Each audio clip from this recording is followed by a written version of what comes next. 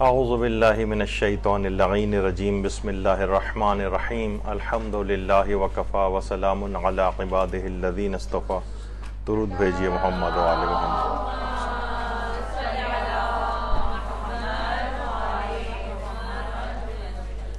अगरचे उनवान आपको थोड़ा सा अभी अजीब लग रहा होगा कि इसकी अहमियत क्यों इतनी ज़्यादा हो गई है कि कुत्तों से मरबूत अहम फ़िकी अहकाम और एतराज़ा के जवाब इसको इस वजह से लेना पड़ गया कि पिछले दिनों में छिपकली से मुतल अहम फ़िके फ़िके अहकाम हमने बयान किए, क्योंकि हर घर के अंदर बहुत सारी चीज़ें ऐसी होती हैं, जिसम से टच हो गई नमाज़ जानमाज पे से गुजरती हुई चली गई, छिपकली टंकी के अंदर मर गई, बहुत सारे ये सब अहकाम इसके अंदर हमने बयान किए थे। अच्छा इसी तरह से बिल्ली के बाल और रतूबतों के अहम फ़िकी अहकाम ये पिछली मरतबा जो है वो बयान हो चुके हैं। और ये भी घरों में आने वा, पेश आने वाला एक अहम तरीन मसला था। उसके बाद मछलियों से मुतल अहम फ़िकी अहकाम के ऊपर दो हमारे जो है वो दर्स हुए।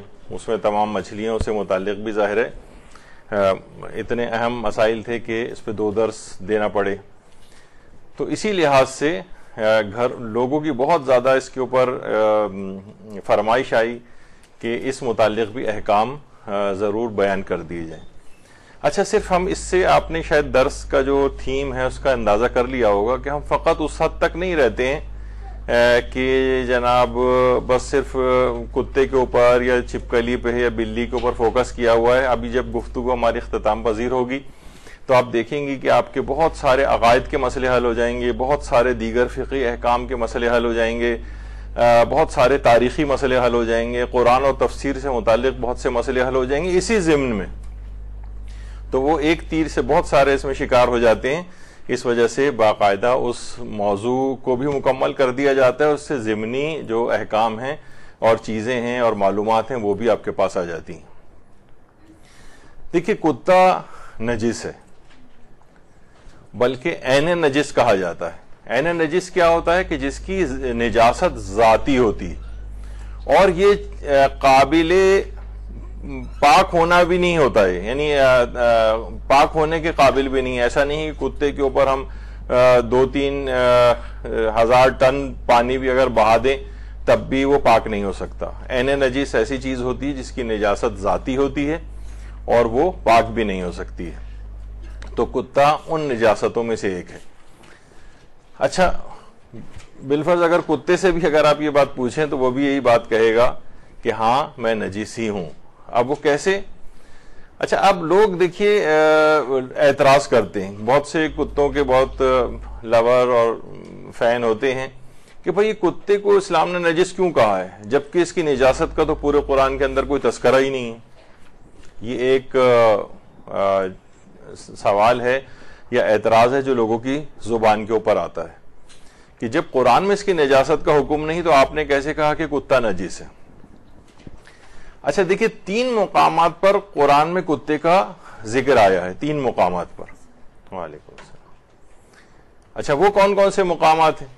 देखिए, एक तो है असहाब कहफ का मुकाम है कि कुरान ने कहा और तुम उन्हें देखो तो ख्याल करोगे कि वो जाग रहे हैं हालाँकि वो सोए हुए हैं और हम उन्हें दाएँ और बाएँ करवटे बदलवाते रहते हैं और उनका कुत्ता गार के दहाने पर अपने दोनों बाजू फैलाए बैठा है।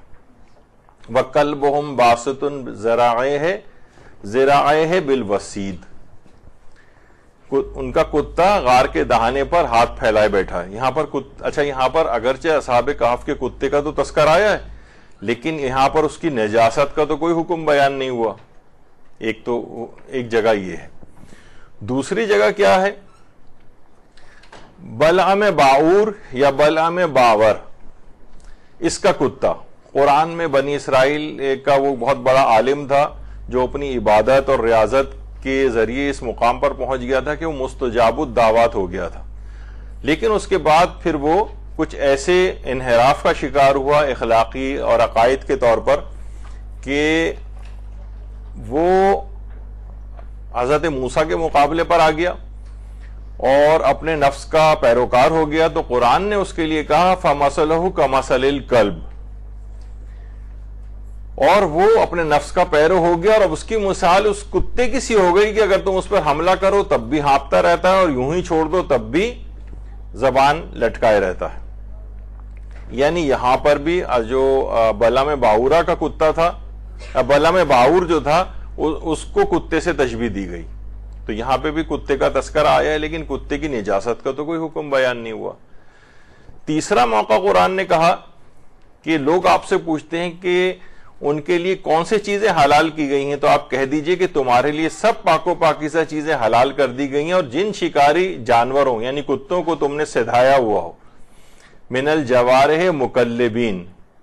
यानी वो शिकारी कुत्ते के जिनको तुमने सिधाया हुआ है जिसके ज़रिए तुम शिकार को पकड़ते हो तो यहाँ पर भी शिकारी कुत्तों का तस्कर आया लेकिन यहाँ पर भी कुरान ने कुत्ते की निजासत का तो कोई हुक्म बयान नहीं किया।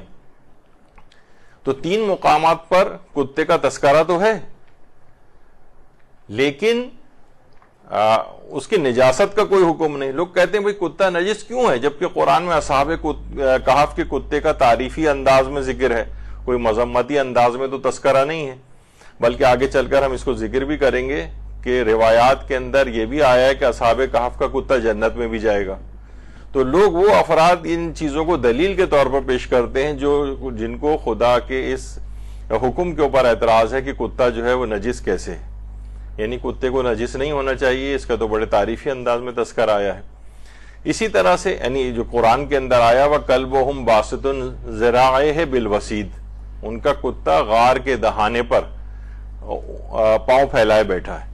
अच्छा यहाँ भी अब ये अगरचे आगे चलकर ये बात आएगी, लेकिन यहाँ जिमनन ज़िक्र कर दूँ, असहाब कहाफ का कुत्ता भी उनके साथ नहीं बैठा है, गार के दहाने पर बिल्कुल अलग से बैठा है। यानी ये भी इसके अंदर एक पैगाम है कि कुत्ते को हर वक्त अपने साथ बिस्तरों पे अपने घर के अंदर सुलाने और लिटाने और फिराने का होने आ, का नहीं है बल्कि कुरान ने इशारा दिया है कि गार के दहाने पर यानी उनसे दूर होकर वो कुत्ता बैठा था।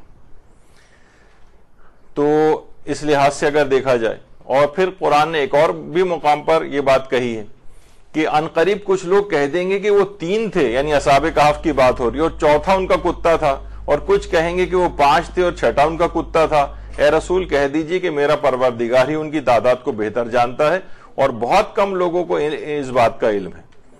तो अब यहाँ पर भी कुरान ने देखा जाए तो ये असाब कहफ की तादाद नहीं बताई। और एक पैगाम ये दिया कि असलन आपको थीम को और नतीजे को देखना चाहिए या उस पैगाम को देखना चाहिए। ना कि हम जो हैं उसी के अंदर ही गर्क होकर रह जाते हैं और सिर्फ़ यही बहस करते रहते हैं कि असाब काफ की तादाद कितनी थी? तीन थे कि चार थे कि पाँच थे कि छह थे कि सात थे। तो ये कुरान ने इसी को डिनाई किया। जैसे कहा कि हमने जहन्नुम के उन्नीस दारोगा मुकर किए हैं, मफहम यह है उसका आयत का। ताकि हम ये देखें, कौन है कि जो कहे कि मसन बीस दारोगा क्यों नहीं मुकर किए? हमने मसन फजर की दो रकात बनाई है तो हम देखेंगे मसलन, यानी मैं अपने अल्फाज में कह रहा हूँ कि हम देखेंगे कौन है जो कहे, भाई, तीन क्यों नहीं? सुबह तो बड़ा निशात का वक्त होता है और बड़ा आदमी जो फ्रेश होता है तो उसको तो ज़्यादा रकात पढ़नी चाहिए थी, उस वक्त दो रकात क्यों है? तो ये चीज़ें ऐसी हैं कि इस तरह की चीज़ों को इस्लाम ने एक लिहाज से डिनाई किया। तो यहाँ पर भी क्या आया? सयकूलून सलासतुन राबेहम कल्बोहम व यकूलून खमसतुन सादिसहम कल्बोहम।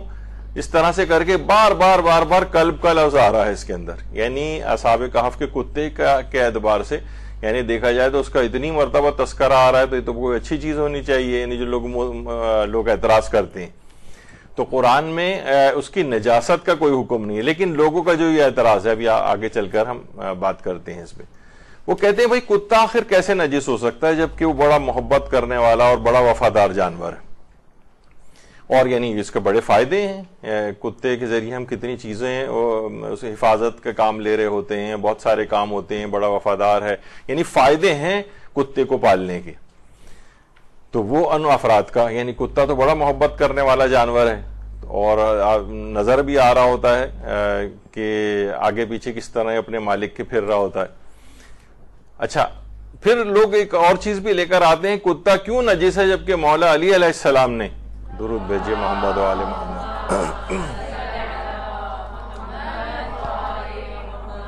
कुत्ते की दस खसूसियात अपनाने की ताकीद की। अब उसमें तो नहीं जाएँगे वरना गुफ्तु बहुत तफसीली हो जाती है फिर।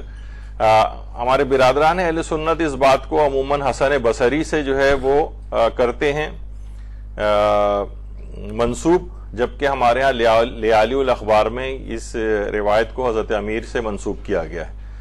कि कुत्ता जो है, यानी दस खसूसियात उसके अंदर बहुत अच्छी हैं। बड़ी उसके अंदर ज़ाहिर है, एक तो ये कि हम हमेशा अपने मालिक का वफादार होता है और ज़्यादातर भूखा रहता है और किसी जगह से अगर इसको हटा दिया जाए, मसलन तो ये वहाँ से जो है हट के कहीं और चला जाता है, कोई एक मकान नहीं बनाता। यानी इसमें बहुत सारे कनात पसंदों की सिफात हैं, बहुत से जाहिदीन की सिफात हैं बहुत से आला दर्जे की ऐसी सिफात हैं यानी कि यानी तकरीबन दस के करीब उन सिफात का तस्करा हुआ है कि ये हर शख्स को भी अपनानी चाहिए अगर चाहे जानवर के अंदर सिफात है। तो लोग कहते हैं, देखिए, मौला अली सलाम ने तो इसकी इतनी यानी उस लिहाज से इसकी दस खसूसियात अच्छी की तारीफ़ की और आप कह रहे हैं, नजिस है, इसको दूर रखा जाए और ये सब क्या है फिर? तो ये सब चीज़ें अभी इसके हम जवाब देते हैं। देखिए, पहली बात तो यह है कि किसी भी चीज़ का मुफीद और कारामद होना ये तहारत की दलील नहीं होता है। कि कोई चीज़ बहुत मुफीद है या बहुत कारामद है तो इसका मतलब है कि वो पाक भी होगी।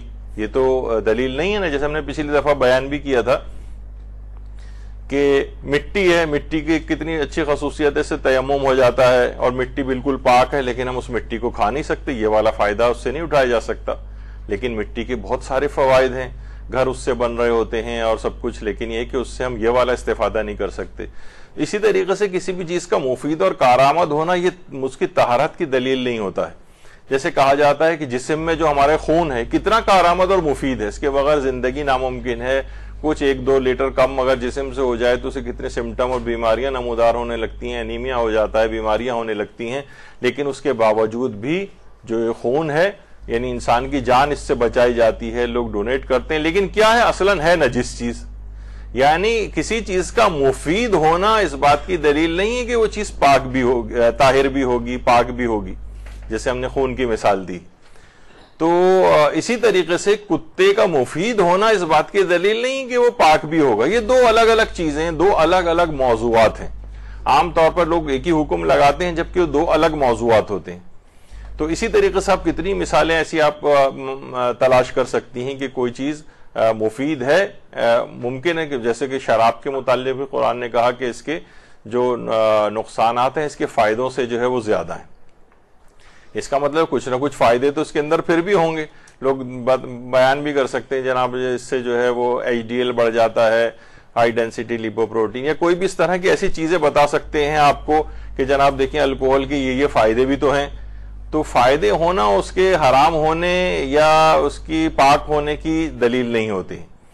अच्छा इसी तरीके से कुरान में किसी चीज़ की नजासत का ज़िक्र ना होना भी उसके ताहिर होने की दलील नहीं है कि कोई चीज़ क्योंकि कुरान में नहीं कहा है इसको कि नजीस है इस वजह से पाक है। बहुत सारे लोग इस तरह के अहले कुरान ग्रुप टाइप के जो है आजकल बन गए हैं और आ, सोशल मीडिया पे भी बहुत सारे अफराद इस तरह के सरगर्म अमल हैं।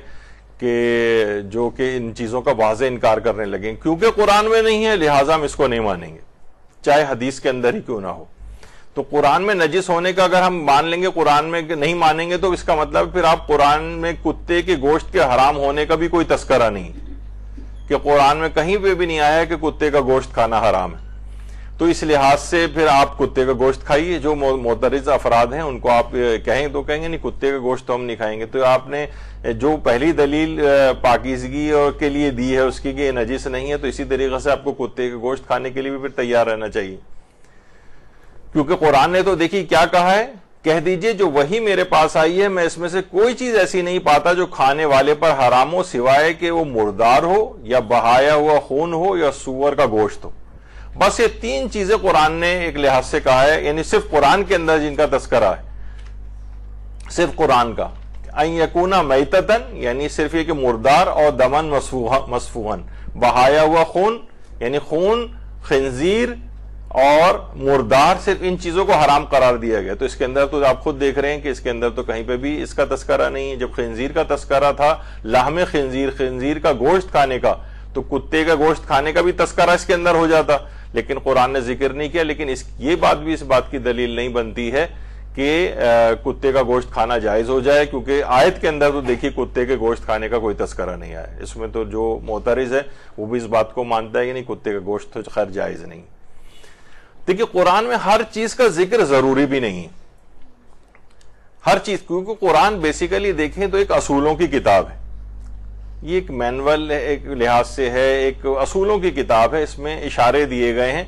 यानी ये नहीं कि मसन कुरान अगर वज़ू का मसला बताए तो वज़ू के मसाइल पे पूरी जनाब उसके साथ एक जमीमा अटैच किया जाए जो वज़ू के तमाम मसाइल पर मुश्तमिल हो, उसके तमाम दलाइल पर मुश्तमिल हो, और फिर जब नमाजों का तस्कर आए तो पूरा तो पता चाहिए चलेगा कि जनाब कई हज़ार जिल्दों पर मुश्तमिल कुरान। ऐसा नहीं है। तो ये असल कुरान का इस तरीके का तर्ज नहीं है कि वो इतनी इस तरह से तफसील में जाए। एक मजमू तौर पर एक अहकाम की किताब है। और कुरान ने वाज तौर पर एक चीज़, एक कुछ असूल दे दिए देखिए, जैसे हम कहते हैं कि कुरान में नमाजों की रकात की तादाद का भी ज़िक्र नहीं है। किस जगह पर है कि फजर की दो रकत और जोहर की चार रकत और असर की चार, मगरब की तीन ईशा की चार रकत पढ़ी जाए तो कुरान में रकात की तादाद का भी कोई तस्करा नहीं है। इसी तरीके से, देखिए, एक चीज़ और भी कही जाती है कि निजासात जो है ना, देखिए, इनकी दो इकसाम होती हैं। एक तो किस्म वो है कि जो बसारत से दर्क करने वाली निजासत है। यानी हम आँखों से देख सकते हैं कि हाँ ये पेशाब है, ये फला मुर्दार है, ये आँखों से दर्क की जाने वाली जाहिरी निजासतें। और कुछ निजासतें ऐसी होती हैं जो निगाह बसीरत से दर्क करने वाली होती हैं बातिनी निजासत कहलाती हैं। मसलन काफिर जो अहले किताब है, इसके मुतालिक आपको पता है कि मौजूदा जो मराजहन में अक्सरियत जो है, अहले किताब को पाक समझती। लोग कहते हैं नमल मुशरकुन नजसन। जब कुरान ने कहा है कि मुशरकिन नजस हैं तो यहाँ पर भी नजस से मुराद उनकी ज़्यादातर उलमा जो हमारे हैं, जो इसकी बात के कायल हैं, वो कहते हैं, इससे मुराद बातिनी निजासत है, ज़ाहरी निजासत नहीं है। तो बातिनी निजासत अहले किताब की, यानी जो वो उलमा के जो कि ज़ाहरी तौर पर, जैसे सिस्तानी है रहबर मौज़म है, ये ज़ाहरी एतबार से इनको पाक समझते हैं, इनकी निजासत को बातिनी करार देते हैं, अहले किताब की। जिसमें यहूदी और ईसाई हैं और आगा सिस्तानी के नज़दीक पारसी भी हैं। तो बहरहाल ये नजासात की उस लिहाज से एक अकसाम बनती। तो कुरान में अगरचे इसका तस्करा नहीं आया है, यानी कुत्ते की निजासत का, लेकिन सही अहादीस में कुत्ते की निजासत का हुक्म आया है, सही अहादीस में। अच्छा हम अहले किताब अहले कुरान जो हजरात हैं, उनसे हम यही कहते हैं, जब कुरान में अल्लाह ने कह दिया, वमा अताकुम रसूल फ़ोजू हो जब जो जो कुछ हम, जो कुछ तुम्हें रसूल दें, उसे ले लो। तो इसका मतलब यह हुआ खुदा ही का हुक्म है कि रसूल से अगर कोई हदीस इस सिलसिले में वारिद हुई है तो आपको उसको लेना चाहिए। और फिर पैगंबर असलम ने अक्रम ने खुद ये बात कही कि इन्नी तारिकुन फीकुम मुस्तकिल किताब अल्लाह व इतरती अहलबैती तो यानी मैं दो गिरा कदर चीज़ें छोड़ के जा रहा हूँ, कुरान और अहल बैत। यानी कुरान से भी आपको लेना है और अहल बैत से भी लेना है। और अल्लाह ने कहा कि तमाम चीज़ें जो रसूल तुम्हें दें, तुम्हें लेना है। और रसूल ने कहा कि अहले बैत से भी लेना है। तो इसका मतलब ये हुआ कि अगर पैगंबर अक्रम की भी कोई रिवायत मौजूद है और आयमा अथार की रिवायात इस सिलसिले में मौजूद है, कुत्ते की निजात की तो आपको वो लेनी पड़ेंगी। ये भी खुद कुरान ही के तहत है ये बात। अच्छा अब अहादीस में कुत्ते की निजात का बड़ी सराहत के साथ हुक्म आया है, अहादीस में। एक आता है छठे इमाम के पास, एक शख्स। इमाम जाफ़र सदक वसलाम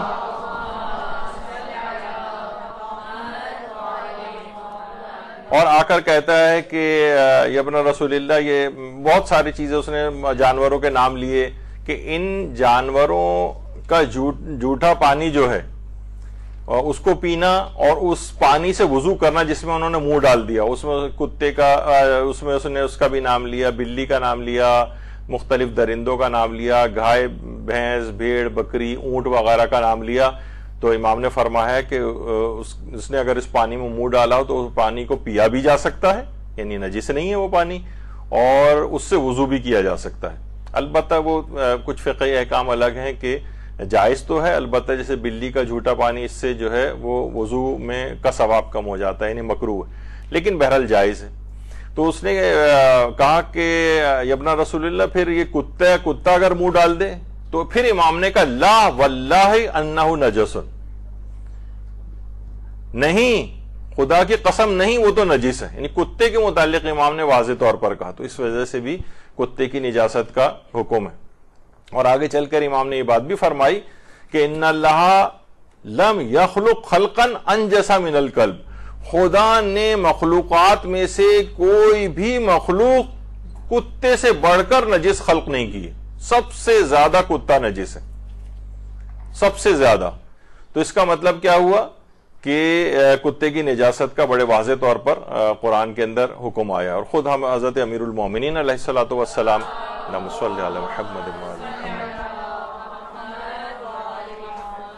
फरमाते हैं कि तनज़ह अनकुरबिल किलब यानी कुत्ते के करीब रखने से परहेज करो, इसके करीब जाने से परहेज करो।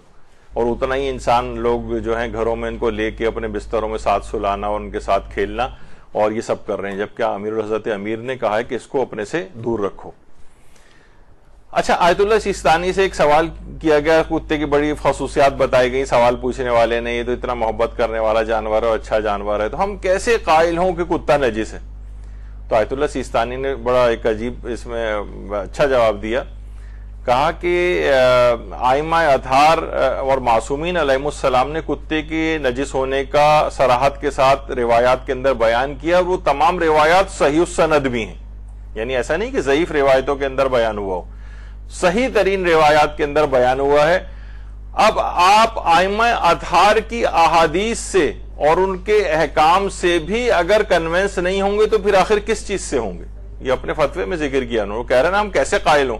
भाई, कायल ऐसे होंगे, खुद आयमा थार ने फरमाया है और सही हदीस में फरमाया अब आपको हम कैसे और कहें कि कहाँ से लेकर आए आयमा थार से कोई सुपीरियर कोई चीज़ ऐसी कि जो आपके सामने पेश की जाए और आप उसको मान लें? तो ये उन अफराद के लिए है कि जब माशरे के अंदर निकलते हैं, अब तो खैर आप, हम जिस मजमे से खिताब कर रहे हैं, वहाँ तो ऐसा कोई नहीं, लेकिन आमतौर पर अब इस तरह की चीज़ें बहुत आने लगी हैं, कि कुत्ता, यानी एतराजात के कुत्ता कैसे नजीस है। दूसरी एक और बात हम ये कि देखिए, तमाम फ़िकी अहकाम की इल्लतों या हमतों का इल्म ना हो, तब भी उनको मानना ज़रूरी होता है। मसल लोग कहते हैं, भाई लॉजिक के साथ आप बताएँ, हम रात और दिन हमारे पास इतने जब फेसबुक के ऊपर मदरसा वो लगाता है, फ़िकी अहकाम तो ऐसे ऐसे एतराज़ात हर वक्त लोगों हर चीज़ में बस कहते हैं लॉजिक बताइए इसकी क्या है? भाई फ़िकी अहकाम की लॉजिक और इल्लत ज़्यादातर की बताई नहीं गई इसी में ही तो आपका इम्तिहान है, उलमा यही कहते हैं कि फिर मोमिन में और काफिर में और उसमें क्या फ़र्क रह जाएगा? मोमिन गैब के ऊपर ईमान रखता है, मोमिन जो है बस अल्लाह ने कह दिया, बस उसको उस लिहाज से वो मान रहा होता है। तो उसकी जो फ़िकी अहकाम है, उनकी जो इल्लतें और हमतें हैं ये अगर किसी के इल्म में ना भी हो, तब भी उसका मानना लाजिम होता है। मसलन कहते नहीं कि हज है और या दीगर अहकाम है, उनकी इल्लतें, आपको कहाँ कहाँ मालूम है? मसलन, कौन सी इल्लत है कि जनाब वज़ू में आज़ाए वज़ू दो दो दफ़ा धोने दो दफ़ा धोए जाएँ, एक दफ़ा धोना वाजिब है और दो बार धोना मुस्तहब है उनका। हमने कहा हम तो चेहरे को तीन मरतबा धोएँगे। अब क्या वो कहेगा, क्या इल्लत है? तीसरी दफ़ा धोने में मजीद ही तो धोया जा रहा है, अच्छी बात है। फजर की रकात जो है वो दो के बजाय हम चार पढ़ रहे हैं। ज़्यादा ही इबादत कर रहे हैं ना, ज़्यादा रुकू हो रहे हैं, ज़्यादा सजदे हो रहे हैं, लेकिन इस्लाम कहता है कि वो इबादत बातिल है। कहाँ कोई इल्लत है इसके अंदर? हज का तो पूरे का पूरे अगर अहकाम को आप देखें तो उसमें तो समझ में ही नहीं आता कि इसमें इल्लतें क्या हैं। अहकाम की सिवाय चंद एक अहकाम के अलावा तो इल्लतों का कहीं तस्करा भी नहीं हुआ है। कि क्यों भाई हम आ, मार रहे हैं उसके ऊपर? दीवार के ऊपर बार बार पत्थर को साथ साथ मरतबा और एक एक दिन के अंदर तीन तीन जगहों के ऊपर एक खाली दीवार के ऊपर यानी इल्लत बज़ाहिर उसके अंदर कोई ऐसी हमें हिकमत नज़र नहीं आ रही बज़ाहिर। तो हाँ ये हमें लेकिन फिर भी हमें मानना होता है। लोग कहते हैं कि शायद इसकी देखिए वजह ये हो कि देखिए आप हो सकता है कहें कि जनाब इसके अंदर तो वो जरासीम होते हैं और बीमारियों के जरासीम होते हैं इसके अंदर। शायद इस वजह से इसको मना किया गया हो। मसलन इसके ज़रिए रेबीज हो जाती है जो कुत्ते के काटने से होती है जनाब। फिर उसमें हाइड्रोफोबिया होता है और यहाँ तक कि इंसान तकरीबन 99 परसेंट अफराद इसके अंदर जो है वो मर जाते हैं। तो आ, शायद बीमारियों की वजह से ऐसा हो। लेकिन अगर हम मसलन ये कर लें कि जनाब कुत्ते को फुल्ली वैक्सीनेट कर दें इससे कोई बीमारी भी ना हो सके और बिल्कुल साफ़ सुथरे कुत्ते बिल्कुल उनको निला दुला के तैयार के इसके अंदर कोई जरासीम भी ना हो तो कम से कम फिर आ, फिर तो इसमें ऐसे कोई चीज़ नहीं होनी चाहिए जबकि ऐसा नहीं। यानी कुत्ते को अब सारी दुनिया की वैक्सीन भी लगा दें और इसको जैसा कि हमने इससे पहले कहा था कि पूरे समंदर भी इसके ऊपर बहा दें तो ये तब भी पाक नहीं हो सकता है। यानी इसका मतलब ये हुआ कि फ़कत बीमारियों वाली हिकमत भी नहीं है इसके अंदर। यानी कोई ना कोई ऐसी चीज़ें हैं कि ज़रूरी नहीं है कि हमेशा बीमारी की वजह से ही आपको दूर रहने का हुक्म दिया गया हो। मसलन, असहाब सब्त, कुरान ने जिसका तस्करा किया है। यानी वो एक कौम थी कि जो कि परवरदिगार ने कहा था कि हफ़्ते के रोज जिनको शिकार मना था सप्त हफ़्ते को कहते हैं। हफ़्ते के दिन शिकार, मछलियों का शिकार उनके लिए मना कर दिया गया था। और उसको इबादत का दिन के तौर पर करार दिया गया था कि इस दिन अपने सारे कारोबार बंद कर दें। तो ये इन्होंने क्या किया? इन्होंने चालाकी की अल्लाह मियाँ के हुक्म के साथ। इन्होंने क्या किया कि वो किनारा जहाँ पर मछलियाँ आती थी, वहाँ पर बहुत बड़े बड़े से गड़े खोद लिए। और हफ़्ते के रोज वहाँ पे उन गढ़ों के अंदर मछलियाँ आकर फंस जाती थी और फिर ये इतवार के रोज जाके उन मछलियों को निकाल लेते थे और कहते थे, देखिए, हमने हफ़्ते के दिन तो कोई शिकार नहीं किया। हम तो इतवार के दिन इन मछलियों को पकड़कर लाए। यानी अल्लाह मियाँ के साथ ये चालाकी इन्होंने करने की कोशिश की। बहरहाल, अजाब खुदा आया, कोनू के रदतन खासीन जलील बंदर बन जाओ। और ये लोग जलील बंदर बन गए। तो क्या हुआ? तो अब जो मछलियाँ का, का शिकार जो मना किया गया था इनको तो उसकी हिकमत ये नहीं थी कि उसके अंदर कोई जरासीम वाली वाली बात थी कोई या इनकी सेहत को कोई नुकसान था। बल्कि कोई और पहलू मद्देनजर था कि इस दिन मछलियों का शिकार इस वजह से रोक दो क्योंकि अल्लाह ने हफ़्ते के रोज तुम्हारे लिए इबादत का एक दिन मुकर कर दिया इसका मतलब हिकमतें इससे हटकर भी हो सकती यानी एक अल्लाह ने एक इबादत करो तो इस वजह से मछली का शिकार मना किया। तो ज़रूरी नहीं कि हमेशा हम लोग कहें कि भाई फला जानवर, इस वजह से अल्लाह ने मना किया है, क्योंकि ये जो है, इसमें जो फला फला जरासीम होते हैं तो हम वैक्सीनेट कर लेते हैं, हम दवाइयाँ पिला देते हैं तो अब तो ये पाक हो जाना चाहिए। नहीं, ऐसा नहीं इसकी अलग से हिकमतें जो भी आगे चल कर आएँगी, कुछ ऐसे नुकसान और हैं इसके अंदर। अच्छा एक चीज़ और बता दी जाए ये भी क्योंकि इंसान मुख्तलिफ़ उसमें रहता है इस्लामी फ़िकों के अफराद के साथ तो ये बता दिया जाए कि तमाम इस्लामी फ़िकों में आ, कुछ में तो कुत्ता नजिस है जैसे हमारे यहाँ फ़िक जाफरी में है इसी तरीके से फ़िक शाफई में और फ़िक हम्बली में। इसमें कुत्ता नजीसी है अलबत्ता फ़िक़े मालिकी में कुत्ता बिल्कुल पाक है। बिल्कुल पाक। अच्छा फ़िक़े हनफी है, इसमें भी पूरा कुत्ता नजिस नहीं है। वो कहते हैं, कुत्ते का फ़कत मुँह और लुआब जो है, ये नजिस है, बाकी कुत्ता पाक है। तो फ़िके मालिकी के अंदर अलबत् वो ये कहते हैं कि ताबुदन, यानी जो कहीं कुत्ता मुँह डाल दे या अपना मुँह लगा दे तो बहरहाल उसको पाक ज़रूर किया जाएगा, लेकिन एक हुक्म ताबुदी है, यानी ये नहीं कुत्ता नजिस है, बल्कि बस एक हुक्म दिया गया, ऐसा करो तो ऐसा किया जा रहा है। अगर ये इसको एसी को यहाँ से बंद कर दे तो मुनासिब हो जाएगा मेरे लिए, नहीं, बहुत ज़्यादा है। यहीं से बंद कर दें हाथ से।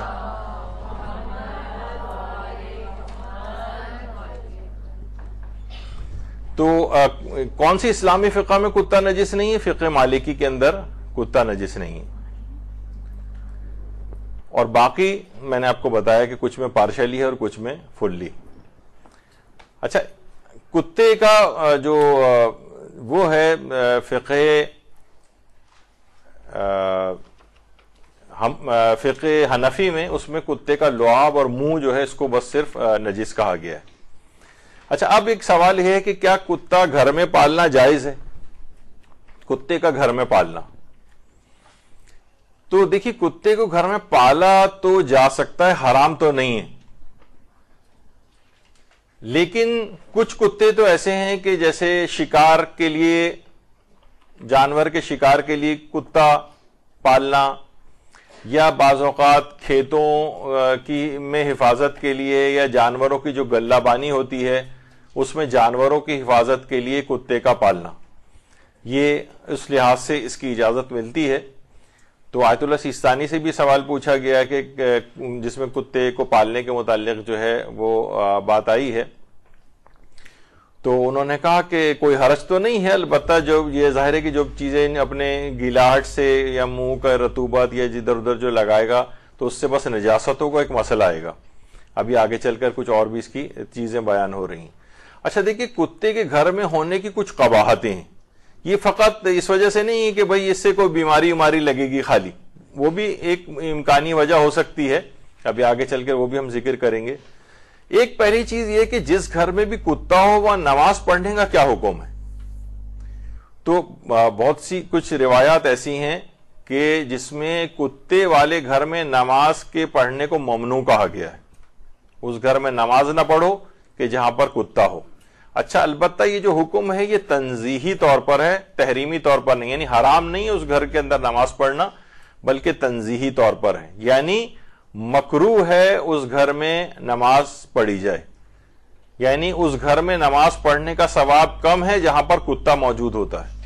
यानी पहली चीज़ आयतुल्ला सिस्तानी ने भी उसके अंदर लिखी है, अपने फतावे के अंदर कि नमाज़ के सवाब में कमी वाक़ हो जाएगी यानी नमाज़ मकरू है जिस घर में कुत्ता मौजूद है। तो सबसे पहले तो ये कि इंसान को आ, कितनी ज़्यादा उसकी ज़रूरत है नेकियों की और वो जो नमाज़ पढ़ भी रहा है उसमें सवाब भी उसको कम मिल रहा है। यानी इस कुत्ते के ऊपर उसने अपने नेकियों का सवाब जो है कुर्बान किया हुआ है। तो एक तो है कि नमाजों के सवाब में कमी। दूसरी चीज़ ये है कि आमाल खैर का कम से कम होते चले जाना। ऐसे शख्स, अशखास को हमने देखा है कि जो अभी तो ये कह रहे होते हैं बाहिर दीनदार भी होते हैं, कोई बात नहीं, अगर हम कुत्ता पालेंगे तो हम कुछ नहीं है, हम बड़े एहतियात के साथ रहेंगे। कुत्ते के आने से एक चीज़ ये होती है कि अभी हम आगे चलकर उसकी भी बातें बयान करेंगे कि किस तरह से ये चीज़ें कम होती चली जाती हैं।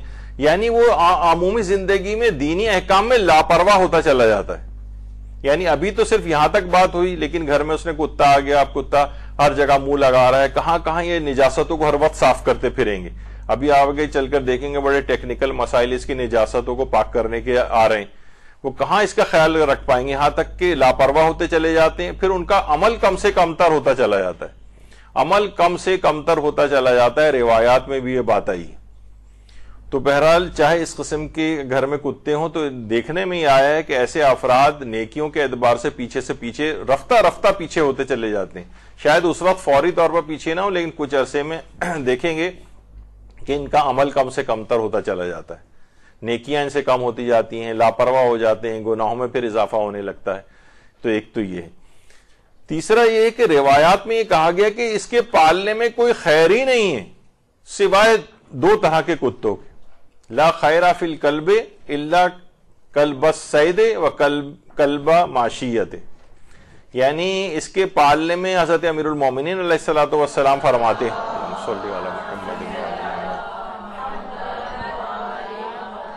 कुत्ता पालने में कोई खैर नहीं है, सिवाय इसके कि शिकारी कुत्ता ज़ाहिर है, फिर, शिकारी कुत्ता इंसान पाल सकता है शिकार वगैरह के लिए, या फिर ये कि गले वगैरह की जानवरों को ये निगहबानी कर रहा होता है, कहीं गले के जानवर इधर से उधर ना निकल जाए, सिर्फ़ ये बस दो बातें। बाकी कुत्ता पालने में कोई खैर की और नेकी और अच्छाई की बात नहीं। कोई अच्छाई की बात नहीं कुत्ता पालने में। हज़रत अमीर सलाम ने जुमले इर्शाद फरमाए।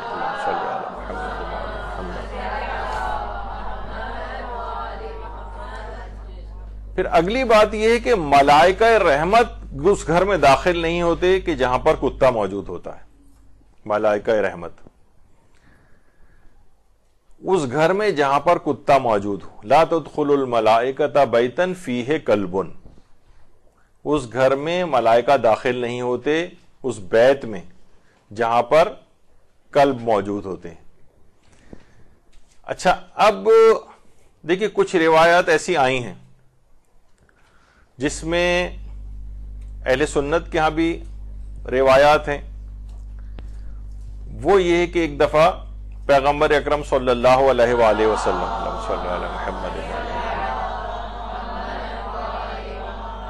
की खिदमत अकदस में हज़रत जबरील आए तो पैगंबर से आने की इजाज़त चाहिए, पैगंबर ने आने की इजाज़त दे दी।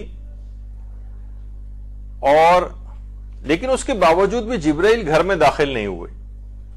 यहाँ तक कि पैगंबर इस्लाम मजबूरन पैगंबर इस्लाम खुद घर अपनी रिदा को संभालते हुए घर के दरवाजे से बाहर आए और जिबरील से कहा कि जब मैंने तुम्हें आने की इजाज़त दे दी थी तो अंदर क्यों नहीं आए? कहा कि, या रसूलुल्लाह, हम गुरोह मलाइका उस घर में दाखिल नहीं होते कि जहाँ पर कुत्ता मौजूद होता है, या मुजस्मा होता है, या वो बर्तन जिसमें शराब पी जाती है वो मौजूद होता है? ये जो रिवायत भी आपके सामने कि हम उस घर में दाखिल नहीं होते। अच्छा अब वैसे ये बिहारुल अनवार के अंदर भी रिवायत है और हमारे उलमाए सुन्नत ने इसको एक अलग तरीके से भी लिखा है। तो आ, उस घर में हम दाखिल नहीं होते जहाँ पर कुत्ता मौजूद हो। तो फिर पैगंबर इस्लाम ने अपने घर के अंदर देखा तो कहीं दरवाज़ा खुला रहने की वजह से किसी भी तौर पर कुत्ते का एक छोटा सा बच्चा घर के अंदर दाखिल हो गया था। खैर, अल्लामा मोहम्मद हुसैन तबाताबाई ने ये बात बयान फरमाई है, कहा कि ये जो रिवायत है, इसका मजमून भी मुस्तरब है और ये मजूल रिवायत है, जाल की गई है, बनाई गई है। यानी इसके ऊपर काफ़ी इस रिवायत के ऊपर शक्को शुबे का इजहार किया। बहरहाल, ये एक अलग से भी एक रिवायत इस तौर पर आई है कि हज़रत जबरील ने यह बात कही कि हम गुरोह मलाइका ऐसे घर में दाखिल नहीं होते कि जहाँ पर कुत्ता मौजूद होता है। और मुजस्मा होता है या वो बर्तन के जिसमें शराब पी जाती अच्छा अब देखिए, बहुत सारे घर ऐसे हैं। ये खुद बहुत एक बहुत ज़बरदस्त टॉपिक है। पूरा एक अलग से दर्श भी इस मौजू पर हो सकता है कि वो कौन कौन से घर हैं जिसमें मलाइका दाखिल नहीं होते। उसकी एक पूरी लिस्ट अलग से अलग अलग रिवायतों में बयान की गई है कि जिस घर में मसलन बैतुल गना जो कि गाना बजाना जिस घर के अंदर होता है वहाँ फरिश्ते दाखिल नहीं होते जहाँ कुत्ता होता है वहाँ फरिश्ते दाखिल नहीं होते मुजस्मा रखा हो वहाँ दाखिल नहीं होते जहाँ निरद जो एक खास जुए के आलात वगैरह होते हैं आ, खेले जाते हो वहाँ पर कुत्ते दाखिल नहीं होते लड़ाई झगड़े जहाँ पर होते हैं वहाँ मलाइका वहाँ मलाइका दाखिल नहीं होते और इसके अलावा उस जगह पर भी मलाइका दाखिल नहीं होते और शयातीन आकर बसेरा कर लेते हैं कि जिस घर में मेहमान नहीं आते, ये भी रिवायत के अंदर आया कि जिस घर में मेहमान ना आते हो, वहाँ पे भी मलाइका दाखिल नहीं होते। तो बहरहाल मलाइका उस, उन घरों के अंदर दाखिल नहीं होते। तो बहुत सारी बड़ी एक फहरिस्त है और बड़ी, और उन जगहों पे फिर शयातीन आकर बसेरा कर लेते हैं। तो एक कितना बड़ा है कि मलाइका ही उसके घर में आना बंद हो जाए, जिस घर में कुत्ता मौजूद हो। मलाइका नहीं आते। तो और इस मौजू पर किताबें भी लिखी गई हैं कि वो घर के जिसके अंदर मलाइका दाखिल नहीं होते। अलबत्ता एक फरिश्ता ऐसा मलाइका की भी अकसाम एक फरिश्ता ऐसा है कि जो कि फिर भी दाखिल हो जाता है, और वो है मलकुल मौत। चाहे पे कुत्ता हो या ना हो, ये तो लाजमी वहाँ पर आता है। कुत्ते की भी के तौर पर भी, यानी उसको ज़ाहिर कहा जाता है, वैसे जानवरों के की एक तस्बी होती है, जब वो तस्बी होती है, ख़त्म हो जाती है तो वो जानवर भी मर जाते हैं। लेकिन कोई भी इंसान कितना ही बड़ा गुनागार हो तो बहरहाल ये नहीं कि कोई कुत्ता वहाँ पर रख ले तो वहाँ मलकुल मौत नहीं आएगा और वो मौत से बच जाएगा। नहीं ऐसी बात नहीं। हाँ अलबत् जो आ, और मलाइका हैं जिनको मलाइका रहमत कहते हैं मलाइका इस मगफिरत कहते हैं ये फिर उन जगहों के ऊपर नहीं आते। अलबत् एक ज़रूर यहाँ अच्छा अब इसमें बहुत सारे देखिए आपने कितनी मजम्मत वाली चीज़ आई।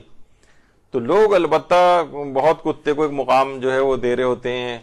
और मैं कहीं एक लतीफे में पढ़ रहा था कि एक दुकानदार के पास एक गाहक आता है और कहता है कि आपको मेरी भी इज़्ज़त करनी है, हत्या कि मेरे घर का अगर कुत्ता भी अगर आ जाए तो आपको उसकी भी इज़्ज़त करनी। तो दुकानदार ने कहा कि, हुजूर, आइंदा आपका कुत्ता आया तो हम यही समझेंगे कि आप आए तो जो है वो एक कुत्ते को भी लोगों ने अपने की इज़्ज़त और उसका इकराम का जो है एक सिंबल जो है वो बना लिया है। खैर। अच्छा यहाँ पर ये जो आया कि बैतन फ़ी है कलबुन। इस पे खुद उलमा की एक बहस है कि यहाँ पे बैत से क्या मुराद है? घर। अच्छा अब बैत अरबी में, लेकिन देखिए, हमारे यहाँ तो बस एक होता है घर। लेकिन ये जो अरबी है, इसके अंदर एक चीज़ होती है, हुजरा, गुरफा, बैत, दार, मंजिल, ये सब अलग अलग चीज़ें। इससे एक मसला हल होगा। देखिए, बैत कहते हैं वो जगह के जिसकी छत भी होती है और दहलीज भी होती एक मसन कोई कमरा है, उसकी छत है, दहलीज है, इसको बैत कहेंगे। ठीक है? और मंजिल किसे कहते हैं? यानी जिसमें बहुत से बैत, यानी कमरे भी हो सकते हैं, जगह भी हो सकती हैं। छत वाला सहन होता है, किचन होता है, इंसान अपने घर वालों के साथ रहता है, इसको मंजिल कहते हैं। अच्छा और दार किसको कहते हैं? जिसमें बहुत सारे बयूत, मनाजिल, बगैर छत का सहन भी शामिल होता है। पूरी एक बाउंड्री वॉल के अंदर जितना स्ट्रक्चर बना होता है सारा दार कहलाता है। अच्छा रिवायत के अंदर हाँ ये बात और दिमाग में रहे कि दार को, दार दार ही रहता है, अगरचे उसकी दीवारें हटा दी जाए। लेकिन बैत जो है, वो बैत नहीं रहता अगर उसकी दीवारें हटा दी मसलन कोई कमरा है, उसकी आप सारी दीवारें गिरा दें, फिर थोड़ी कहेंगे ये कमरा है। लेकिन दार को दार ही कहेंगे, चाहे उसकी बाउंड्री वॉल आप हटा दें। अच्छा अब जो है, यानी मंजिल को कहा जाता है, ये दार से कम होती है और बैत से ज़्यादा होती ये आप खुद गौर करती रहिएगा बाद में। तो हदीस में बैत का लफ्ज आया है, दार का लफ्ज नहीं आया। यानी जिस बैत में कुत्ता हो वहाँ पर मलाइका दाखिल नहीं होते। इसका मतलब यह हुआ कि उलमा ये कहते हैं, फरमाते हैं कि बैत से मुराद वो हुजरा या वो कमरा है कि जहाँ पर कुत्ता रहता है। यानी मलाइका रहमत ऐसा नहीं कि मसलन एक हज़ार गज का किसी के घर है और कुत्ता वहाँ एक जगह के ऊपर है तो पूरे घर में कहीं पे भी नहीं आएँगे, पूरे एक हज़ार गज के घर में। नहीं, जहाँ पर कुत्ता रहता है, वो कमरा वहाँ पर सिर्फ़ मलाइका रहमत नहीं आते। यहाँ पर बैत से मुराद पूरा घर नहीं है, बल्कि फकत वो कमरा, वो जगह, वो हुजरा, वो गुरफा वो सिर्फ़ उससे मुराद है। इससे पूरा दार या पूरी मंजिल वो मुराद नहीं कि पूरे घर में भी नहीं आते हैं किसी जगह। ये एक थोड़ी सी बात आ गई, बीच में तो मैंने ज़िक्र कर दी। अलबत्ता वो घर के जहाँ पर कुत्ता मौजूद हो, वहाँ नमाज़ का सवाब कम हो जाता है। वो पूरा घर। तो बहरहाल कुत्ते को कोशिश यही करनी चाहिए कि इस तरह से आज़ाद ना फिरता रहे, वो अगर कोई शख्स पाल भी रहा है तो किसी उसके अंदर इसको रखे और किसी एक मखसूस जगह और हो सके तो घर के बाहर के किसी एरिया में भी आगे चलकर आएगा कि कुत्ता अगर पाला ही जाए तो रखा कहाँ जाए। तो और शिकारी कुत्ता भी अगर है तो उस सिलसिले में हमारे छठे इमाम इमाम जाफ़र सदक सलाम फरमाते हैं।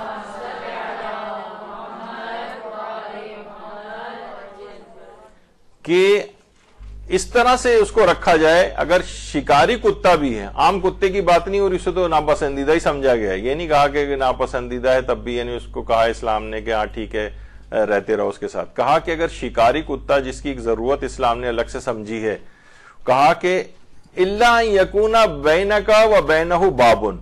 यानी दरमियान में अगर कोई दरवाज़ा हो, अलग जगह पे रह रहा हो, आप दरवाजे की इस तरफ़ रह रहे हो तो फिर कोई हर्ज नहीं, यानी एक लिहाज से दरवाजे के उस तरफ़ है। आपके साथ उसका अंदर आना, जाना, घुलना, मिलना इस तरह से नहीं हो तो इस हद तक सिर्फ़ इसको रखा जा सकता है। अच्छा कुत्ते की मौजूदगी से मलाइका के ना आने की एक अलग इरफानी ताबीर भी उलमा ने बयान की। इरफानियात अखलाकियात की किताबें पढ़ें तो फरमाते हैं कि बैत से मुराद इंसान का अपना जिसम और रूह है? यानी जब तक इंसान इतातों का, इतात परवरदिगार का, सवाब के काम करने का आदि रहता है तो उसकी रूहानियत तरक्की करती है। उसके अंदर एक नूरानियत आती रहती है और नूरानियत बढ़ती चली जाती है। इसके मुकाबले में अगर वो मुसलसल गुनाह करता रहता है, मुसलसल गुनाह करता रहता है तो उसकी रूह के अंदर जुलमानियत बढ़ती चली जाती है और वहाँ से मलाइका चले जाते हैं और शयातीन आकर बसेरा कर लेते हैं। तो ऐसे शख्स को कहा जाता है कि यानी जो सिफात रजीला है, ये कुत्ते की मानंद है। और ये जो उसका पूरा जिसम है, ये बैत है और मलाइका रहमत का वहाँ पर नजूल होता रहता है। तो अगर कोई शख्स कुत्ते कुत्ता अगर कुत्ते से मुराद है कि वो इस सिफात रजीला उसके अंदर मौजूद रहें तो फिर वहाँ पर मलाइका नहीं आते फिर शयातीन आकर उसकी रूह और रूह के अंदर बसेरा कर लेते हैं। उसकी ममलिकत नफ्स के अंदर काबिज हो जाते हैं और मलाइका रहमत वहाँ से चले जाते हैं। तो कुछ इरफानी ताबीर भी की, की गई है इसमें लेकिन असलन रिवायत के जो असल मजमून है उससे बहरहाल ये बात खारिज नहीं होती कि इससे वही फ़िज़िकल कुत्ता मुराद है। यानी ये ठीक है कि इसकी मुख्तलिफ़ ताबीरात की गई इस अंदाज की इरफानी ताबीरात लेकिन असलन ये अपने असल मौजू से वो रिवायात खारिज नहीं होती कि इससे वही कुत्ता मुराद है जो हमारे यहाँ चार टांगों पर चलता फिरता ज़मीन के ऊपर नज़र आता है।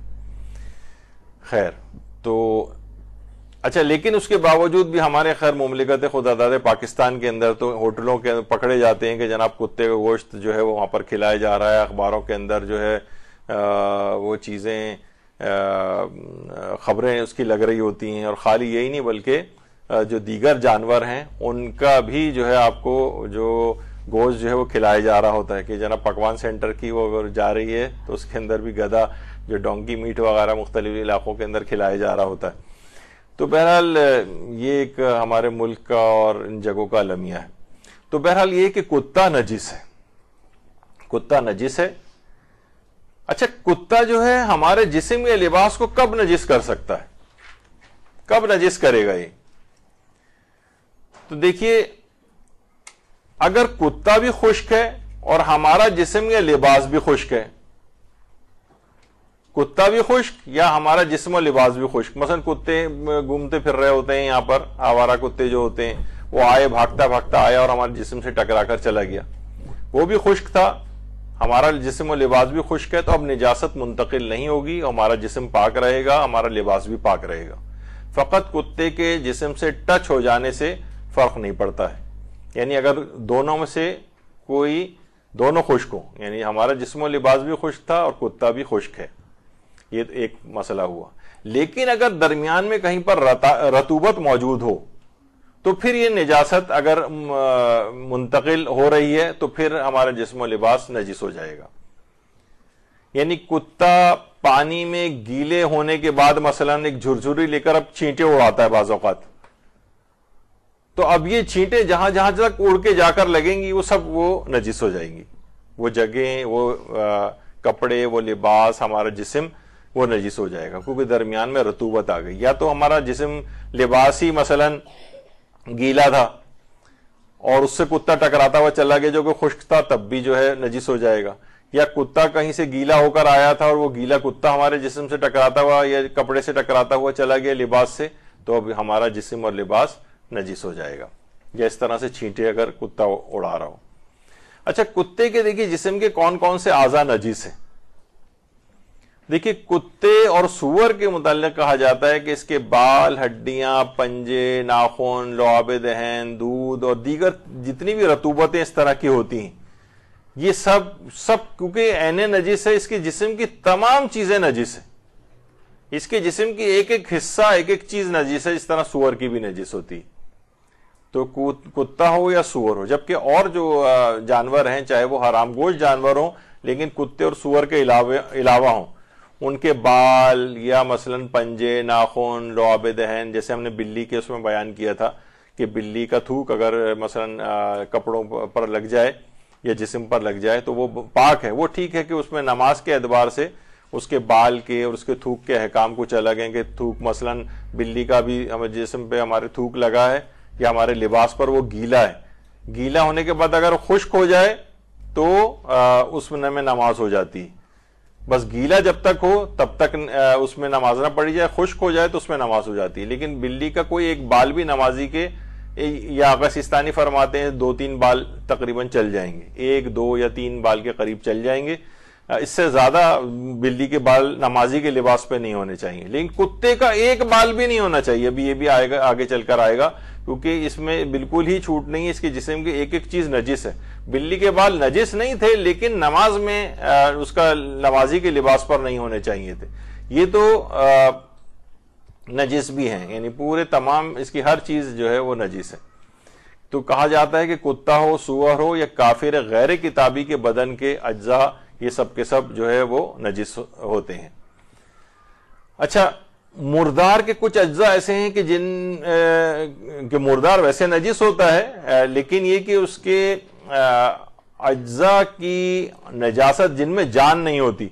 मसन बहुत सारे ऐसे हैं जैसे कोई भेड़ वैसे ही मर गई है और उसका मुर्दार है, पड़ा हुआ है वहाँ पर, उसके जिस्म का ऊन है या बाल वगैरह हैं, हड्डियाँ हैं, दांत हैं तो वो जो है, वो नजिस नहीं होते, लेकिन कुत्ते और सुअर की ये तमाम चीज़ें भी जो है, वो नजिस है। इसी तरीके से लोग कहते हैं मसन कुत्ता अगर बर्फ़ के ऊपर चलता हुआ जा रहा है तो आगस्तानी ने भी लिखा है कि बस वो जिस जगह, जिस बर्फ़ के, जिस हिस्से में उसका पाँव पड़ेगा, फकत वो जगह नजिस हो जाएगी, लेकिन बाकी जगह जो है, वो पाक रहेंगी। तो कुत्ता अगर बर्फ़ पे चल रहा हो तो फकत वो जगह जो है, वो नजिस होती है।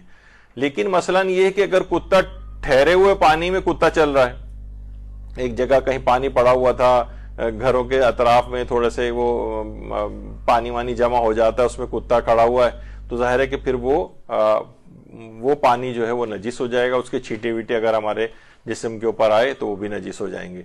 लेकिन अगर बारिश के पानी में कुत्ता चल रहा है अच्छा जिस वक्त बारिश हो रही होती है, उस वक्त तो जरा सहूलत है। लेकिन आमतौर पर यह होता है कि बारिश का पानी किसी जगह आके रुक गया है ज़मीन के ऊपर और फिर उसके बाद ठहर गया है वो।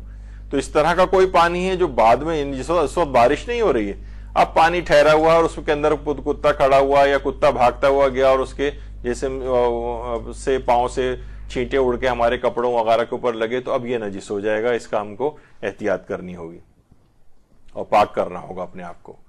यानी अगर कुत्ते और जिस्म, हमारे जिस्म और लिबास के दरमियान रतूबत का यकीन ना हो हमको। यानी कुत्ता टकरा के गया अब हम या तो जाकर पकड़े किसी तरह जाके उसे हाथ वाथ लगा के चेक करेंगे गीला तो नहीं था ये। या, और हमें अपने जिस्म का तो पता है कि हमारा जिस्म और लिबास जो है वो उसमें कोई रतूबत नहीं तो अगर बहरहाल कभी भी ये शक रहता है कि कुत्ते में और हमारे जिस्म और लिबास के दरमियान रतूबत वगैरह वाली कोई चीज़ नहीं थी तो कुत्ता टकरा कर चला भी गया तो अपने आप को पाक समझेंगे और अपने लिबास को भी पाक समझेंगे अपने जिस्म को भी पाक समझेंगे। और इस सिलसिले में जन का भी कोई फ़ायदा नहीं है। मकसद आपका 90 परसेंट दिल कह रहा है कि कुत्ता तो जो है ना गीला था। मसलन दस मिनट पहले ही बारिश हुई है। अब आपको पता है कि अब आपको ये अब ये पता नहीं हो सकता है कुत्ता कहीं आ, किसी जगह खड़ा हो गया हो जाके कि जहाँ पर अपने आप को इसने बारिश से बचा लिया हो। और या लेकिन आपके 90 परसेंट दिल ये कह रहे कि नहीं, ये गीला होगा। लेकिन तब भी इस्लाम ने कहा, नहीं, इस पर तवज्जो मत दो। ये जन की कोई अहमियत नहीं। हाँ, आपको यकीन होना चाहिए कि कुत्ता गीला था। तो तब तो आपका जिसम नजिस होगा, और जन भी हो रहा है नब्बे पिचानवे फ़ीसद भी ख्याल आपका दिल ये कह रहा है, तब भी आप दिल के ऊपर तवज्जो ना दें और ये समझें कि नहीं, हम हम अभी भी पाक हैं। इस्लाम ने एक बेनिफिट ऑफ़ ऑफ़ डाउट जो है शक का फ़ायदा वो आपको निजासत और तहारत के मसले में दिया है। इसमें वसवास का शिकार नहीं होना चाहिए। क्या ये जो अहकाम निजासत कुत्ते की तमाम इकसाम के लिए? लोग कहते हैं कि भाई ये जो है कुत्ते की जो इकसाम है जैसे आ, शिकारी कुत्ता है या मसलन वो जो जिनको पालने की बहरहाल एक लिहाज से इजाज़त इस्लाम ने दी है, शिकारी कुत्ता, उस शिकारी कुत्ता भी उतना ही नजीस है जितना आम ये गली में फिरने वाले जो कुत्ते होते हैं। इसी तरीके से गले बानी वगैरह की हिफाजत के लिए जो कुत्ते होते हैं, वो भी वैसे ही नजीस है। यानी तमाम कुत्ते जो हैं, वो निजासत में बिल्कुल बराबर है। अच्छा एक चीज़ होती है, समंदरी कुत्ता और समंदरी सुअर। इनके नाम तो ये हैं। मसलन आ, ये जो सील है इसे समंदरी कुत्ता कहा जाता है। समंदरी कुत्ता। लेकिन ये असलनी कुत्ता नहीं है ना ये नजिस है। बस नाम है इनका समंदरी कुत्ता। या समंदरी सुअर ये भी इस तरह के एक समंदर के अंदर एक जानवर जो है वो पाया जाता है। इसे समंदरी सुअर कहा जाता है। लेकिन ये सिर्फ़ नाम है। इनके ऊपर कुत्ते का कोई हुक्म नहीं सिर्फ़ देखिए, नाम तो बहुत सारी चीज़ें हैं, जैसे उसमें सी हॉर्स पाया जाता है तो ये घोड़ा कोई थोड़ी है? ये मिलती जुलती उस तरह की कोई चीज़ है तो लेकिन इसमें घोड़े के अहकाम तो नहीं आ जाएँगे? क्या आप कहेंगे कि जनाब, ये सी हॉर्स जो है तो घोड़ा भी क्योंकि हलाल गोश्त जानवर तो है बहरहाल, यानी मकरू है, ये अलग बात है, लेकिन हलाल है वो तो ये भी सी हॉर्स है तो उस पर भी वही हुक्म हो जाएगा? नहीं। तो उनके सिर्फ़ वो नाम है लेकिन वो वो नजिस भी नहीं है, न समंदरी कुत्ता नजिस है, न समंदरी खंजीर नजिस है। तो अलबत् फिर कुत्ता किसको कहेंगे? यानी कौन सा कुत्ता कुत्ते के हुक्म में? तो मुश्तदीन ये फरमाते हैं कि हर वो चीज़ जिसको, यानी माशरे में उर्फ़ कुत्ता कहे, जो क्या आमतौर पर हमारे यहाँ जिन, जिनको कहा जाता है। उनके सिर्फ़ फकत नाम है, लेकिन कुत्ता उन्हें समझा नहीं जाता जो भी समंदरी, जो दो जानवर मैंने आपको दिखाए थे। तो ये उर्फ़ जिनको कुत्ता आमतौर पर कहता है जिसमें इन कुत्तों का इतलाक होता है, चाहे इनकी हज़ारों स्पीशीज ही क्यों ना हो अलग अलग अलग अलग शक्लों के अलग अलग तरीकों के कुत्ते, सबका हुक्म बहरहाल वही रहेगा। अच्छा इसी तरीके से क्या ये जो शिकारी कुत्ता है या घर में हिफाजत करने वाले कुत्ते हम पालते हैं क्या? ये भी नजिस है? जी हाँ अभी ज़िक्र हुआ कि नजासत के मसलों के अंदर ये सब जो है, वो नजीसी शुमार होंगे। अच्छा इसी तरीके से अगर कुत्ता अपना गीला मुँह या जिस्म हमारे जिस्म पर लगा दे, अभी मैं कपड़ों के, लिबास की बात नहीं कर रहा, सिर्फ़ हमारे जिस्म पर उसने अपना गीला मुँह आकर लगा दिया, हमारे हाथ पे लगा दिया अभी हम जिस्म को लेते हैं। यानी बरह रास्त हमारे जिस्म पर उसका टच हो गया मुँह या लुआब वगैरह। तो अब इसको जो है हम कैसे पाक करें? तो इसको पाक करने का फकत इतना आसान तरीका एक दफ़ा पानी से धो लें बस। बस एक दफ़ा पानी से धोना है। तो जिसम का मसला तो ये है। जिसम अच्छा इसमें फिर आ, आपके दिमाग में फ़ौरन वो आएगा कि भाई, वो तो निचोड़ा भी जाता है। तो एक साहब ने पता ये चला था कि उन्होंने कहीं से पाक करने का तरीका सीख लिया था और उनकी बिल्ली गीली हो गई थी। लेकिन पता चला वो मर गई। मालूम चला कि वो पाक करने से नहीं मरी थी, बल्कि निचोड़ने से मरी थी। तो बहरहाल इसमें भी है कि हाथों को निचोड़ा उचोड़ा नहीं जाएगा, ये सिर्फ़ लिबास का हुक्म है। तो अगर कुत्ता अपना गीला मुँह या जिस्म हमारे लिबास पर लगा दे, हमारे लिबास पर यानी कुत्ते ने हमारे उसके ऊपर आकर पकड़ लिया और हमारे लिबास पे अपना मुँह लगा दिया। तो अब क्या होगा कि इसको इस पे पानी डालकर और उसको निचोड़ दिया जाए। लिबास के अंदर याद रखिए कि फकत निचोड़ना होता है। अच्छा निचोड़ने के बहुत सारे तरीके होते हैं। मशीन में डालकर भी निचोड़ा जाता है। या, या उसको भी निचोड़ना कहते हैं। बकौल हमारे उस्ताद मोहतरम के हजरा तफन फरमाते थे कि आमतौर पर वो, जो कि धोबी वगैरह जिससे एक हाथ में एक लकड़ी का सा एक होता था और वो कपड़ों में मार मार के पानी निकालते थे या बहुत सारी खातन शोहरों की पिटाई के लिए भी उसको इस्तेमाल किया करती थी एक जमाने में।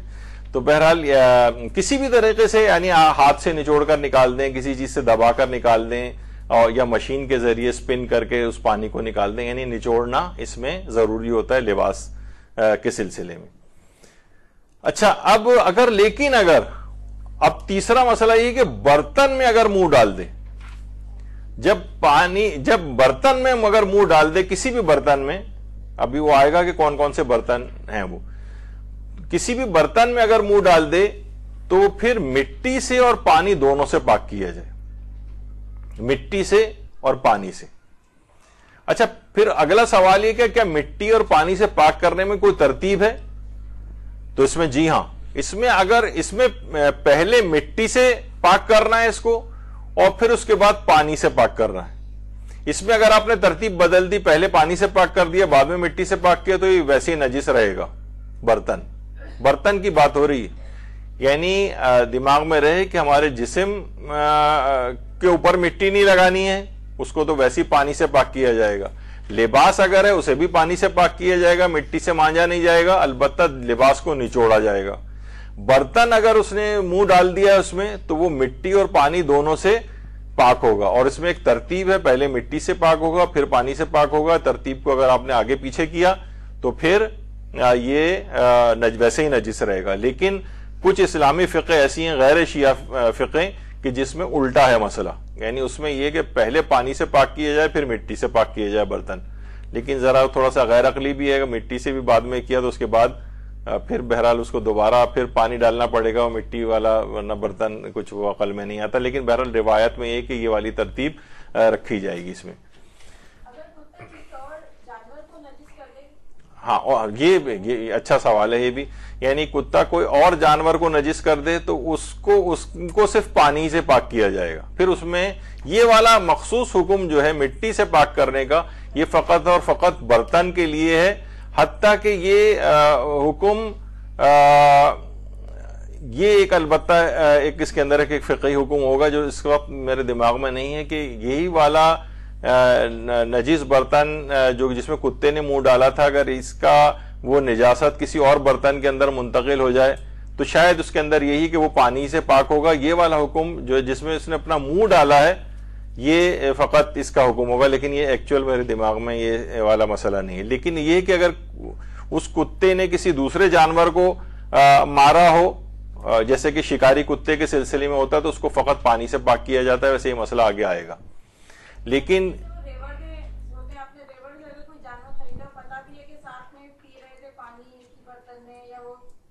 जी जी वो अभी आ रही है हाँ। नहीं वो आपको आपने कुछ देखा वेखा नहीं है तो वो आपको के लिए सब हाँ तो वो जानवर ज़ाहिर है कि उसका वो नजिस हो जाएगा तो वो उस जानवर को अगर आप लेके आ रहे हैं तो वो उसको उस लिहाज से पाक कर लें अगर आपका बार बार हाथ उसके ऊपर गीला लग रहा है तो। वरना वो नजिस भी रहे जानवर तो क्या फ़र्क पड़ता है? यानी छोड़ दीजिए उसको नजिस। खैर।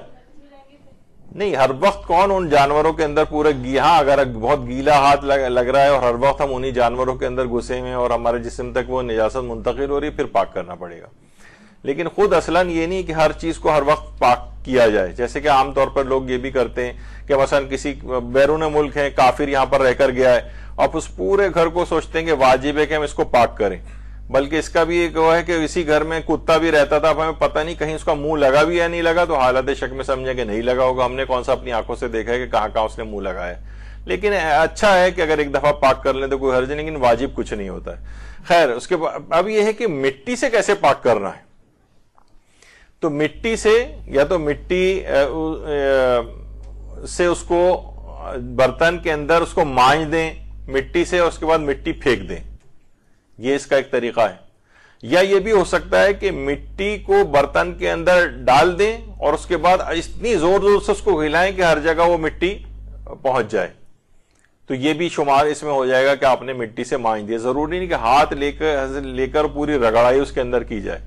दो, ये दोनों तरीके सही हैं, यानी हाथ से भी हो सकता है और यह है कि उस बर्तन को लेके इतनी ज़ोर ज़ोर से मिट्टी हिलाई जाए कि वो हर जगह पहुँच जाए। ये इस मिट्टी से पाक करने का तरीका है। अच्छा पानी से कितनी मरतबा पाक करें? तो पहले तो ये होगा कि मिट्टी जो अंदर मौजूद है, उस मिट्टी को निकाल के बाहर फेंक दें। ऐसा ना हो कि मिट्टी उसी के अंदर पड़ी रहे। नहीं, मिट्टी को फेंक दिया आपने, उसके बाद पाक करें उसे। दो मरतबा पानी से। ये भी कर सकते हैं लबालब पानी से भर लें दो दफ़ा और खाली कर दें उसको या ये कर, ये भी कर सकते हैं कि नल या गिलास या किसी भी चीज़ से उसमें अंदर पानी डालें हर जगह पानी पहुँच जाए और उसके बाद उसका पानी फेंक दें फिर दूसरी दफ़ा पानी डालें और पानी हर जगह पहुँच जाए उसका पानी बाहर फेंक दें। या ये भी हो सकता है कि लबालब पानी से भर के दो दफ़ा भर के खाली कर दिया जाए। तो ये पानी से पाक करने का तरीका है। अच्छा फिर उसके बाद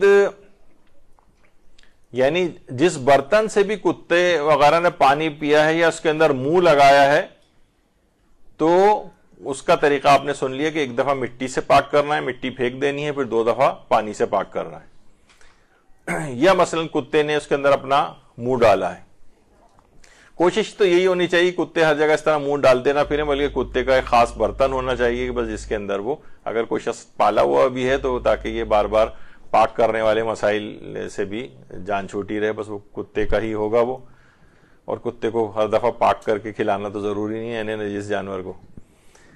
तो खैर अच्छा फ़िक़ मालिकी थोड़ा सा क्योंकि मैंने कहा कि हम बात को ज़रा मुकम्मल हो जाए फ़िक़ मालिकी जो हमारे बिरादरान अहल सुन्नत की अभी आपने सुना था कि वो तो कुत्ते को पा, पाक समझते हैं। फ़िक़ मालिकी में कुत्ते की निजात का कोई हुक्म ही नहीं।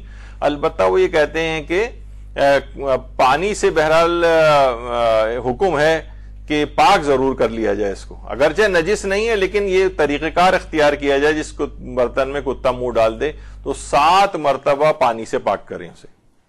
ये उनके यहाँ है। अच्छा इसी तरीके से फ़िक़ शाफी और फ़िक़ हम्बली भी ये बात कहती है कि पानी से पाक करें उसको, और सात दफ़ा ही जो है वो पाक कर कर लिया जाए। अलबत् फ़िक़ हनफी में मट्टी से मांझने का एक तो कोई हुक्म नहीं, और ये कहते हैं कि बस सिर्फ़ तीन दफ़ा पानी से पाक करना ठीक है। और जैसे कि अभी हमने कहा था कि वो ये कहते हैं कि सिर्फ़ उसका लुआब और सिर्फ़ मुँह जो है वो खाली नजीस है, बाकी नहीं। अच्छा एक तो था कुत्ता मुँह डाल दे, और एक है कुत्ते का लुआब किसी बर्तन में या कुत्ते की कोई रतूबत मसन पेशाब, पखाना, पसीना वगैरह किसी बर्तन में गिर जाए। इस सिलसिले में फिर आगा सिस्तानी फरमाते हैं, एक दफ़ा तो वो उसी तरह तौर पर पाक किया जाएगा मिट्टी से, और एहतियात लाजिम ये कि तीन दफ़ा पानी से भी पाक किया जाए। इससे पहले जो आपने सुना था, जिसमें उसने सिर्फ़ फकत मुँह डाला था तो उसमें वो कहते थे कि एक दफ़ा मिट्टी से मांझा जाए, दो दफ़ा पानी से। लेकिन इसमें फरमाते हैं, एक दफ़ा मिट्टी से मांझने के बाद तीन दफ़ा पानी से पाक किया जाए, जिसमें उसका लुआब या कोई और रतूबत जिस बर्तन में गिर जाए। तो ये थोड़ा सा बस एक एक हुक्म के अंदर एक, था। तो ये उसकी जो मुख्तलिफ़ रतूबतें टाइलिज्म जो कहलाता है, हर वक्त जो उसकी थूक वगैरह और लुआब जिस मुँह से निकलता रहता है जिसका खास एक फिनोमिना भी है। तो बहरहाल ये अगर अंदर उसके गिर जाए बर्तन में तो फिर तीन दफ़ा उसको पाक किया जाएगा। ये अभी बात आ गई थी कि जिसम या कपड़ा नजिस हो जाए इससे तो मिट्टी से मांझना उसको ज़रूरी नहीं होता है। अच्छा तंग मुँह का बर्तन है तो उसमें हम कैसे उसको अंदर से मिट्टी से मांझे तो उसका वही तरीका बेस्ट है कि फिर अंदर उसके मिट्टी डाल दी जाए और इतनी ज़ोर ज़ोर से उसको हिलाया जाए कि वो हर जगह वो पहुँच जाए तो ये भी काफ़ी है। फिर उस मिट्टी को निकाल के फेंक के और फिर पानी से धोया जाए। तो तंग मुँह के बर्तन को इस तरह से पाक किया जाता है। अलबत्ता सुअर बर्तन में मुँह मार दे या चाट ले तो वो तो ये है कि ठीक है कि उसको सात दफ़ा पानी से धोया जाएगा। लेकिन ये कि मिट्टी से मांजने का हुक्म सुअर के लिए नहीं है। ये फकत कुत्ते के लिए कुत्ते की खसूसियत है। और जब भी आपने उससे पहले एक बात सुनी भी थी कि हज़रत अमीर ने बात फरमाई थी या छठे इमाम ने बात फरमाई थी, हज़रत, बल्कि छठे इमाम इमाम जाफ़र सदक सलाम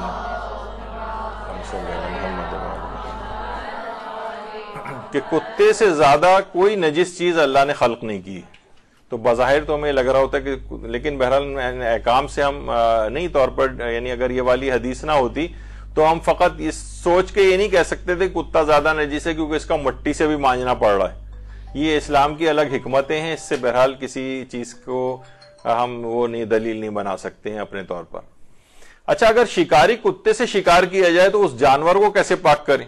जैसे अभी हमने ज़िक्र किया था इससे पहले कि शिकारी, ये कुत्ता जो है वो लेकर आ गया इस जानवर को मुँह में पकड़ के। तो जनाब, इसके मुतालिक हुक्म यह है कि इसको फकत पानी से पाक कर लिया जाए। बस इस जानवर को। इसको मिट्टी से मांझना और वो जो है उसकी कोई ज़रूरत नहीं। तो इस पे बहुत से मोतरजिन अफराद ये कहते हैं कि खुला तजाद नहीं। कि जब जब बर्तन के अंदर तो मुँह डाल रहा है तो आप मिट्टी से भी मांझ रहे हैं। यानी वही मुँह उसका लग रहा है जानवर के ऊपर तो उसे आप कह रहे हैं कि जनाब इसको फकत धोया जाए। और बर्तन के ऊपर लग रहा है तो ये तो बड़ी तजाद वाली बात आ गई। आजकल लोग बहुत से इसके अंदर भी चीज़ें निकालते हैं। तो देखिए, ये बात याद रख लें कि ये हुक्म इस्लाम का फकत बर्तन से मुतालिक है, बस। इसके अलावा जिस जिस जगह भी हद तक कुत्ता मेज पे मुँह लगाए, कुर्सी पे लगाए, सब्ज़ी पे, गोश्त पे, फल पे, कहीं पे भी मुँह लगा दे तो फकत पानी से पाक कर रहा है। ये हुक्म फकत और फकत तखसूसी तौर पर सिर्फ़ बर्तन से मुतालिक है। तो इस लिहाज से सारी चीज़ें इसके अंदर बराबर है, चाहे वो जानवर हो कोई जिसपे उसने मुँह लगाया है कुत्ते ने या मेज पे, कुर्सी पे, सोफे पे, गोश्त पे, फल पे, किसी भी चीज़ पे लगाया, उसे फकत पानी से पाक किया जाएगा, मिट्टी से नहीं मांझा जाएगा। ये फकत बर्तन का हुक्म है। अच्छा बर्तन कौन कौन से बर्तनों का हुक्म है? बर्तन इसमें कप भी आ जाएँगे, ये जो खाने पीने के जो बर्तन होते हैं आमतौर पर ये कप आ जाएँगे, इसमें गिलास आ जाएगा, पतीली आ जाएगी, इस तरह की जितनी भी चीज़ें हैं, ये इसके अंदर आ जाएँगी। इसमें अगर कुत्ते ने मुँह लगाया है तो उसको वही मिट्टी से मांझने वाला हुक्म इसके ऊपर आएगा। जी जी, यही हुक्म है। इसमें कोई नहीं कि ये जिस पे भी जिस पे भी बर्तन का इतलाक हो। लव से बर्तन जिसको कहा जाए। ये अब आप लोग बताएँगे तो जो इस्तेमाल करती हैं ज़्यादा। हाँ तो उसके अंदर अगर आती हैं तो यकीनन बर्तन में शुमार होगी। अच्छा अब मिट्टी से मांझने की क्या हिकमत है? मिट्टी से क्यों मांझा जाए? तो अब देखिए, इसकी बहुत सारी, जैसे हमने अपने ज़िक्र किया कि इसकी हिकमतें हमें ना, उसकी पता नहीं। बस ये कि निजासत को पाक करने के लिए हमेशा मखसूस तरीका अपनाना ज़रूरी होता है। मसलन बहुत सी निजात है, जैसे पेशाब की निजात को दो दफ़ा पाक करना होता है। अब आप कहें कि जनाब, हम एक दफ़ा में ही पूरे समंदर का पानी डाल देते हैं इसके ऊपर। वो एक ही दफ़ा शुमार होगा बस। यानी उसमें दो दफ़ा ही की शर्त होगी। मिट्टी से अगर आपने नहीं मांझा और कितने भी तरीकों से उसके ऊपर पानी डाल के और पाक करने के सारे तरीकेकार भी अप्लाई कर दिए, तब भी वो बर्तन पाक नहीं होगा। तो ये इस्लाम ने इसमें इसकी हिकमत नहीं बताई है मिट्टी से मांझने की। इसमें खुद ही लोग अपने तौर पे कह देंगे, जरासीम वगैरह इसमें हटाए जा रहे हैं। तो लोग कहेंगे, ठीक है, फिर अगर हम मसलन कोई डिसइनफेक्टेंट या कोई भी सैनिटाइजर या कोई भी इस तरह की चीज़ से हम उसको अच्छी तरह धो लें तो जरासीम का अगर फलसफा था तो हमने तो कर दिया। नहीं, उसके बावजूद भी उसी मखसूस तरीके से पाक करना पड़ेगा, यानी मिट्टी से मांझना पड़ेगा। लोग आमतौर पर इस तरह की चीज़ों में कयासात लड़ा रहे होते हैं अपने, जबकि इस्लाम ने ऐसा वो इल्लत नहीं बता बताई होती। यानी अगर इल्लत इस्लाम बताता कि जनाब इस वजह से तो फिर आप चलें एक लिहाज से कह सकते थे कि भाई फिर वो तो हमने पूरी कर तो दी, हमने जरासीम हटा दिए लेकिन इस्लाम ने कोई हिकमत और इल्लत नहीं बताई है इसके अंदर और कहा कि बस मिट्टी से मांझना है। तो मखसूस तरीके से ही मसन आप कपड़े को लाक आप कहें कि कलील पानी से कपड़ा पाक कर हैं आप निचोड़ नहीं रहे। और पूरा जो है ना, उस पर सौ टंकियाँ भी पानी की अगर बहा देंगे, तब भी वो कपड़ा नजीस ही रहेगा, जब तक कि आप उसे उसे निचोड़ेंगे नहीं। तो बहरहाल, निजासत को पाक करने का मखसूस तरीका होना चाहिए। अच्छा अभी जो जैसे बात हुई थी बिल्ली के बालों की तो कुत्ते का बाल भी नमाजी के जिसम या लिबास पर लगाओ। एक बाल भी लगाओ तो वो काबिल माफ़ी नहीं है। कुत्ते का बाल कोई नहीं होना चाहिए। बिल्ली का बाल, खरगोश का बाल, ये आगा सिस्तानी कहते हैं कि एक दो तीन बाल की हद तक इजाज़त है, ज़्यादा न लगे हों। और रहबर मौज़म या आयतुल्ला खोई या इमाम खुमैनी वगैरह, वो तो कहते थे कि एक बाल भी नहीं होना चाहिए। एक बाल भी नहीं होना चाहिए, वरना नमाज़ बातिल है, बिल्ली का बाल भी। अच्छा कुत्ते में तो खैर सभी कहते हैं कि इसका एक बाल भी जिसम पर नहीं होना चाहिए। और कुत्ते और खंजीर के मुतालिक एक बात और भी आगा सिस्तानी ने कही है कि देखिए, एक और भी चीज़ है हमारे यहाँ। एक तस्किया कहलाता है, यानी शरई तरीके से जानवर को अगर जिबा कर दिया जाए तो उसकी खाल वगैरह पाक हो जाती। है खाल। शरई तरीके मसल लोमड़ी को अगर शरई तरीके से आप जिबा कर दें तो शरई तरीका जो होता है जिबा करने का, कि उसकी चारों रगे कटें और जो दीगर शराइत होती हैं तो फिर क्या होगा कि उसकी खाल वगैरह पाक हो जाएगी, अगर से लोमड़ी हलाल, हराम गोश्त जानवर है। लेकिन कुत्ता और सुअर वो हैं कि जो काबिल तस्किया भी नहीं है। यानी ये ये इन पे ये ना ये इनकी खाल पाक होती है ना ये खा, खाया इनको जा सकता है। यानी किसी भी तरह का इनका कोई यानी कुत्ता और खंजीर दोनों इनको अगर शरई तरीके से जिबा भी कर दिया जाए तब भी इनकी खाल पाक नहीं होगी। यानी ये इनकी एक और वैसी खसूसियत है इन दोनों जानवरों की। अच्छा अभी जो एक सवाल आया था कि जनाब कुत्ता नजिस है तो असाब कहफ का कुत्ता जो है ये जन्नत में कैसे चला जाएगा? तो देखिए, एक चीज़ और भी है और इसमें इसमें सिलसिले में रिवायत भी हमारे छठे इमाम की, इमाम जाफ़र सौदक सलाम की।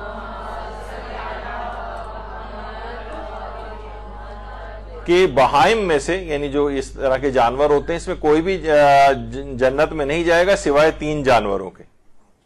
एक तो कहा कि वो बला में बाउरा, उसका गधा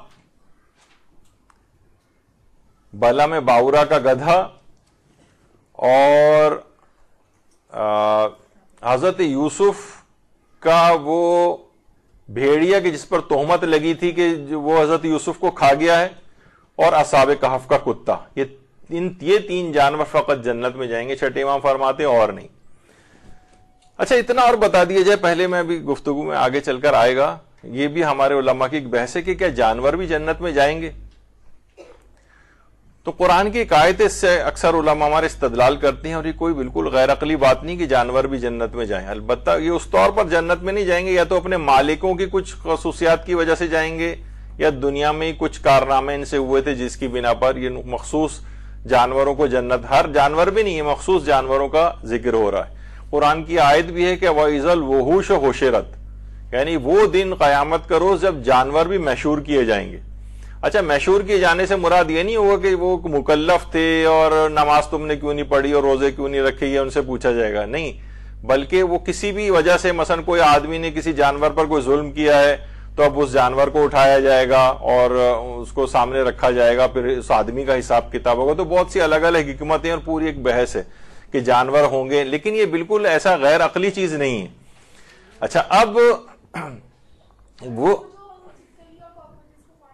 वो ठीक है, वो जायज़ है अच्छा इसी तरह से ये जो है हज़रत यूसुफ के भाइयों ने जो जिस भेड़िए के ऊपर तोहमत लगाई थी कि जिनको के हज़रत यूसुफ को वो खा गए। खैर, उलमा इस पर भी कहते हैं कि हज़रत याकूब इस लिहाज से उस पर मुतमिन थे कि अंबिया के जिस्मों को कोई जानवर नहीं खा सकता कभी। तो उस लिहाज से तो एक हुक्म था, लेकिन उन्होंने बहरहाल अपने तौर पर ये बात कही थी कि उस भेड़िए के ऊपर जो वहाँ पर भेड़िया रहा करता था उसके ऊपर एक तोहमत लगाई गई थी संदाज से। तो ये रिवायत में है कि ये जन्नत में जाएगा एक रिवायत में। और या यही बलम बाउरा का गधा या गधी भी आया है बहुत सी उसमें रिवायत में कि बलम बाउरा की। तो इसमें यही था कि बलम बाउरा इस, इस, इस हद तक हज़रत मूसा के खिलाफ हो गया था। कि मुस्तजाबुद्दावत था तो यहाँ तक इतना खराब हुआ कि हज़रत मूसा के लिए बदुआ करने के लिए पहाड़ की चोटी के ऊपर जाने लगा। तो अपनी गधी के ऊपर बैठ के जा रहा था कि बहुत इसने कोशिश की कि मैं इसको और ऊपर ले जाऊँ, लेकिन गधी आगे नहीं बढ़ रही थी, यहाँ तक कि बार बार अपनी गधी को मार रहा था। लेकिन वो टस से मस नहीं हुई, यहाँ तक के हुक्म खुदा से वो गधा या गधी बोल पड़ी कि तुम देख नहीं रहे हो कि मलायका मना कर रहे हैं तुम इस काम से। तो इस तस्वीर में भी एक तमसीली तौर पर चीज़ दिखाई गई कि वो अपने गधे या गधी को मार रहा है और सामने कोई फरिश्ता और मलक खड़ा हुआ है। तो इस बिना पर कहा जाता है बलम बाउरा का गधा, या गधी ये जन्नत में जाएगी। और इसी तरीके से असाब काफ का कुत्ता। तो बहरहाल ये कि उलमा ये कहते हैं कि कुत्ते की जो असल में निजात है ना एतबारी है रिलेटिव है। देखिए हर वो दुनियावी चीज़ जो दुनिया में नजिस है ये आखरत में भी नजिस हो ये, ये ज़रूरी नहीं है। उलमा इसकी बहुत सी मिसालें देते हैं दुनिया की बहुत सी चीज़ें ऐसी हैं।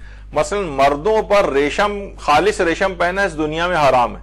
लेकिन जन्नती खालिश रेशम जो है वो जन्नत में पहनेंगे। मर्द के ऊपर इस दुनिया के अंदर सोना पहनना हराम है। लेकिन यही सोने और चांदी के सोने के जेवरात जो है वो जन्नत के अंदर पहने जाएँगे। शराब दुनिया में हराम है अगर अलबत्ता वो वाली शराब नहीं वो शराब तहूरा होगी लेकिन बहरहाल उसमें आया है कि जन्नत के अंदर जो है वो शराब होगी। तो ज़रूरी नहीं कि हर दुनियावी चीज़ जो यहाँ पर ऐसी हो आखरत में भी बिल्कुल वैसी हो। जैसे हमारे लिए हुक्म मर्दों के लिए कि जनाब रेशम खालिश रेशम का लिबास नहीं पहन सकते या इस दुनिया के अंदर है कि जो आ, मर्द आमतौर पर सोने की अंगूठी शादी के मौके पर मिली तो ये मिलता है कि अगर दुनिया में किसी ने एक दफ़ा भी इस तरह से जानबूझकर सोना पहन लिया तो भी आखरत में, जन्नत में सोने के जेवरात से महरूम हो जाएगा। यानी एक उसको एक नुकसान ये उठाना पड़ेगा। तो बहरहाल ज़रूरी नहीं कि दुनिया की हर निजात जो है वो आखरत में भी नजिस हो।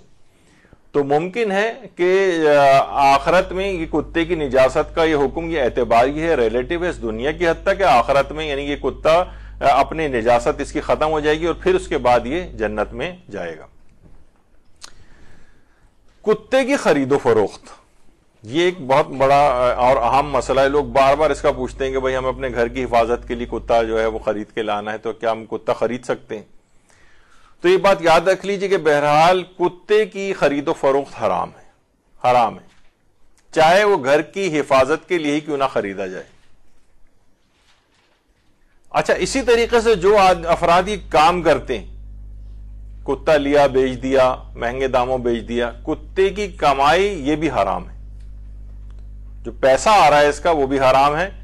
और इसको कुरान में तो एक लफ्ज आया है समाउना लिल कदिबे अक्का लोना लिसोहत अक्का लोना सोहत खाना, सोहत खाने को हराम करार दिया गया अच्छा अब रिवायत में सोहत किसको कहते हैं? पाँच, छह, सात अलग अलग चीज़ों को, सोहत कहा रिश्वत को भी सोहत कहा गया है। यानी सोहत जो है बहुत से हराम चीज़ों का मजमुआ है। जिसमें रिश्वत भी आती है, जिसमें बहुत बड़े बड़े गुनाह की ऐसे काम हो उनकी उजरत ली जा रही हो, वो भी आते हैं। और उसके अलावा मुगनियाँ जो गाने गाती हैं खातन वो अगर उजरत ली जा, ले रही हैं, वो भी इस सोहत के अंदर आता है। तो और इसी तरीके से कुत्ते को खरीदना और उसकी जो कुत्ते की जो कमाई है, इसको भी सोहत कहा गया है। बहुत सारी चीज़ें सोहत है सोलामा की बहस है। तो इसकी कमाई भी हराम है। तो ऐसे अफराद जो इस कामों को करते हो। अच्छा कौन से कुत्तों की खरीदो फरोख्त हराम है? आगा सिस्तानी इसमें फरमाते हैं कि हत्या की हिफाजत की नीयत से भी अगर कोई कुत्ता आप खरीदने जा रहे हैं तो उसको भी नहीं खरीद सकते, वो भी हराम है। आप कहें, भाई, मैं तो घर की हिफाजत के लिए लेकर आ रहा हूँ। तो फिर क्या तरीक़ेकार हो? तो इस्लाम ने बहरहाल इस सिलसिले में हाँ इतना और बता दिया जाए कि बहरहाल ये आगा सिस्तानी का तो नज़रिया था, लेकिन बहरहाल ये कि जो खरीदो फरोख्त, जिस कुत्ते की आगाए खामेनी ने इजाज़त दी है तो उसमें फरमाते हैं कि निगरानी करने वाला जो होता है हिफाजत के लिए, या गल्लेबानी, या शिकार वगैरह के लिए जो होता है इसकी तो खरीदो फरोख्त में हरज नहीं है, लेकिन दूसरे और जो हैं वो उन कुत्तों को खरीदो फरोख्त जायज़ नहीं है। अलबत्ता ये जिसमें इजाज़त भी है तो वो फरमाते हैं कि बहरहाल सजावार नहीं है कि ये वाला काम किया जाए। बहरहाल इससे वो जान छुड़ाई जाए तो बेहतर है कि ये वाला इस तरह की खरीदो फरोख जहाँ जायज़ भी वहाँ ना की जाए। लेकिन इस्लाम ने एक और तरीका सिलसिले में बताया है, जिसे कहा जाता है रफ अल यद। रफ अल यद का हीला शरई रफ अल यद किसे कहते हैं? हाथ उठा लेना। एक साहब एक दूसरे से लड़ रहे थे, कहा कि अब आपने अब दोबारा जुमला मेरे लिए कहा तो मेरा हाथ उठ जाएगा। तो उन्होंने देखा कि जब वो आ गए वो साहब लड़ने के लिए तो कहा कि हाथ उठ जाएगा? तो कहा, हाथ उठने से मुराद मेरी थी कि दोनों हाथ उठा के दुआ के लिए हाथ उठा, उठ जाएगा मेरा। तो लेकिन इसमें जो हाथ उठाना, जो अब ये नहीं कि कुत्ते के अपने सर पे हाथ रखा हुआ है, किसी ने हाथ उठा ले। देखिए, कुत्ते की खरीदो फरोख्त या कुत्ते का जिसके भी पास कुत्ता है, वो उसके कब्जे में तो बहरहाल है। कब्जे को इस्लाम मानता है, कि कब्जे में इसके है। अब वो ये इस बात के पैसे आपसे ले सकता है कि मैं अपना कब्जा इस पर से छोड़ रहा हूँ। मैं कुत्ता बेच नहीं रहा। मैं इसके ऊपर से अपना हाथ उठा रहा हूँ, रफलियत, यानी मैं अपना कब्जा इस पर से छोड़ रहा हूँ। मसलन उसने खैर, ये भी ज़रूरी नहीं है फिकी तौर पर, लेकिन उसके गले में कोई पट्टा उसने डाला हुआ था, वो पट्टा मसलन खोल दिया, ये भी ज़रूरी नहीं है। बस वो जबान से ही कह दे, मैं अपना कब्जा इस पर से हटा रहा हूँ, इसके मैं आपसे मसलन पचास हज़ार लूँगा इस कुत्ते के। यानी इस कब्जा उठाने के पैसे ले रहा है कुत्ते को नहीं बेच रहा है। यानी देखिए, इस्लाम में ये ये सब चीज़ें हैं जिनका होता है असर।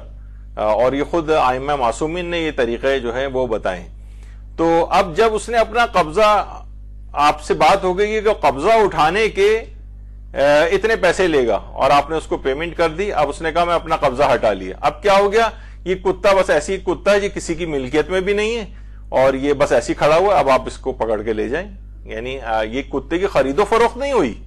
ये खीला शरई रफलियत का। है यानी ये अगर कोई हिफाजत के लिए घर से अपने घर में कुत्ता लाना चाह रहा है तो वो इस तरीक़ेकार को फॉलो करे। वरना आकाशिस्तानी हिफाजत की नीयत से भी कुत्ते की खरीदो फरोख्त को जो है जायज़ नहीं समझते। हाँ रफलियत का जो ये तरीका है, इसको जायज़ समझते तो ये एक तरीक़ेकार है। अच्छा अब घर में अगर कुत्ता रखना ही है तो उसे कहाँ रखें? कहाँ रखें उसे? तो बेहतर तो ज़्यादा यही होता है कि इसको घर के किसी ऐसी बाहर के एरिया में रखें या तो इसको, या इसको, और इस तरह से नहीं कि हर वक्त ही हर जगह घूमता रहे, पूरे घर में जहाँ जहाँ जाएगा वहाँ वहाँ से सब मलाइका जो है वो रहमत गायब होते रहेंगे। तो इसका इससे बेहतर है कि ये अपनी किसी केज में, किसी छोटा सा इसका एक वो बना दिया जाए डरबा टाइप का उसके अंदर ये रहे। आवाज़ नहीं आई मुझे सही। हाँ वो तो मुजस्मे के हुक्म में जानदार का मुजस्मा जो है, वो चाहे वो टॉयस की शक्ल में हो, उस कमरे में नमाज़ भी मकरू है, सवाब कम हो जाता है, बेहतर है कि उनको किसी अंदर छुपा उपा के रखे जाए कि सामने ना हो। और बहरहाल मुजस्मा जानदार का जिस जगह पे भी हो, अभी आपने सुना था रिवायत के अंदर भी कि मलाइका वहाँ पर दाखिल नहीं होती। वो फ़कत इसका नहीं है, यहाँ पर मुजस्मे के सिलसिले में ये चीज़ आई है। तो जानवर का जो जो कुत्ता है इसके लिए मखसूस जगह हो बेहतर है कि वो जगह घर से बाहर हो। यानी जिस जगह इंसान रहता है कहीं बाहर लॉन वॉन की तरफ़ एक जगह कहीं इसकी बना दी जाए बाहर घर के वहाँ पर ये रहे अगर हिफाजत की नीयत और हिफाजत वगैरह नहीं वैसे खेलना वगैरह है तो वो इस्लाम ने उसको पसंद नहीं किया ये ये सब हाँ जो जानदार के जो मुजस्मे शुमार हों वो जाए यानी वो रख तो सकते हैं और खरीदो फरोख्त उनकी अलबत्ता मकरू है। और नमाज़ उस कमरे के अंदर सवाब कम हो जाता है। अच्छा जो शिक लेकिन अभी कुत्ते की बात हो रही है, अभी मैं ये तो फिर मैं दूसरी तरफ़ चला जाऊँगा, मुजस्मे के काम वो आप सारे वो पूछ रहे हैं, इस वजह से मेरे सारा ये मौजू रह जाएगा। अभी ये पहला सुन लें, पहले ये पूरा सुन लें, आगे चल के हो सकता है सारे कवर हो जाए, आखिर में वक्त बचा तो आपके सवाल आ जाएँगे। तो कुत्ते को कह रहे हैं, अगर शिकारी कुत्ता भी है तो दरमियान में इमाम फरमाते हैं, कोई दीवार होनी चाहिए जिससे वो अलग हो। या घर में इस तरह से घूमता फिरता ना रहे, ना रह जाए अगर शिकारी कुत्ता भी है जैसा कि अभी हमने ज़िक्र किया था। अच्छा देखिए, कुत्ते के जो गैर अकली फ़ायदे यानी अगर अकली फ़ायदे तो वही है, हिफाजत हो गई, जानवर की हिफाजत हो गई गले बानी वगैरह के लिए और शिकार वगैरह के लिए तो अकली फ़ायदे हैं। लेकिन इसके अलावा जो फ़ायदे इस्लाम, उसको वो गैर अकली फ़ायदे हैं। अगर उसके लिए कोई पाल रहा है और खेल रहा है तो उसकी बहुत ज़्यादा मजम्मत आई है रिवायतों में। हज़रत अमीरमिन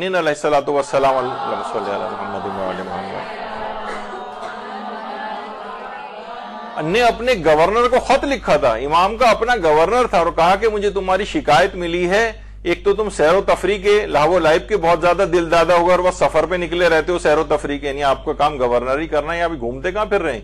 और दूसरी चीज़ ये है कि मैंने ये सुना है कि तुम कुत्तों से खेलते हो। यानी हज़रत अमीर ने अपने गवर्नर को तंबी की कुत्तों से खेलने की। इसी तरीके से हज़रत इमाम हुसैन अलैहिस्सलाम ने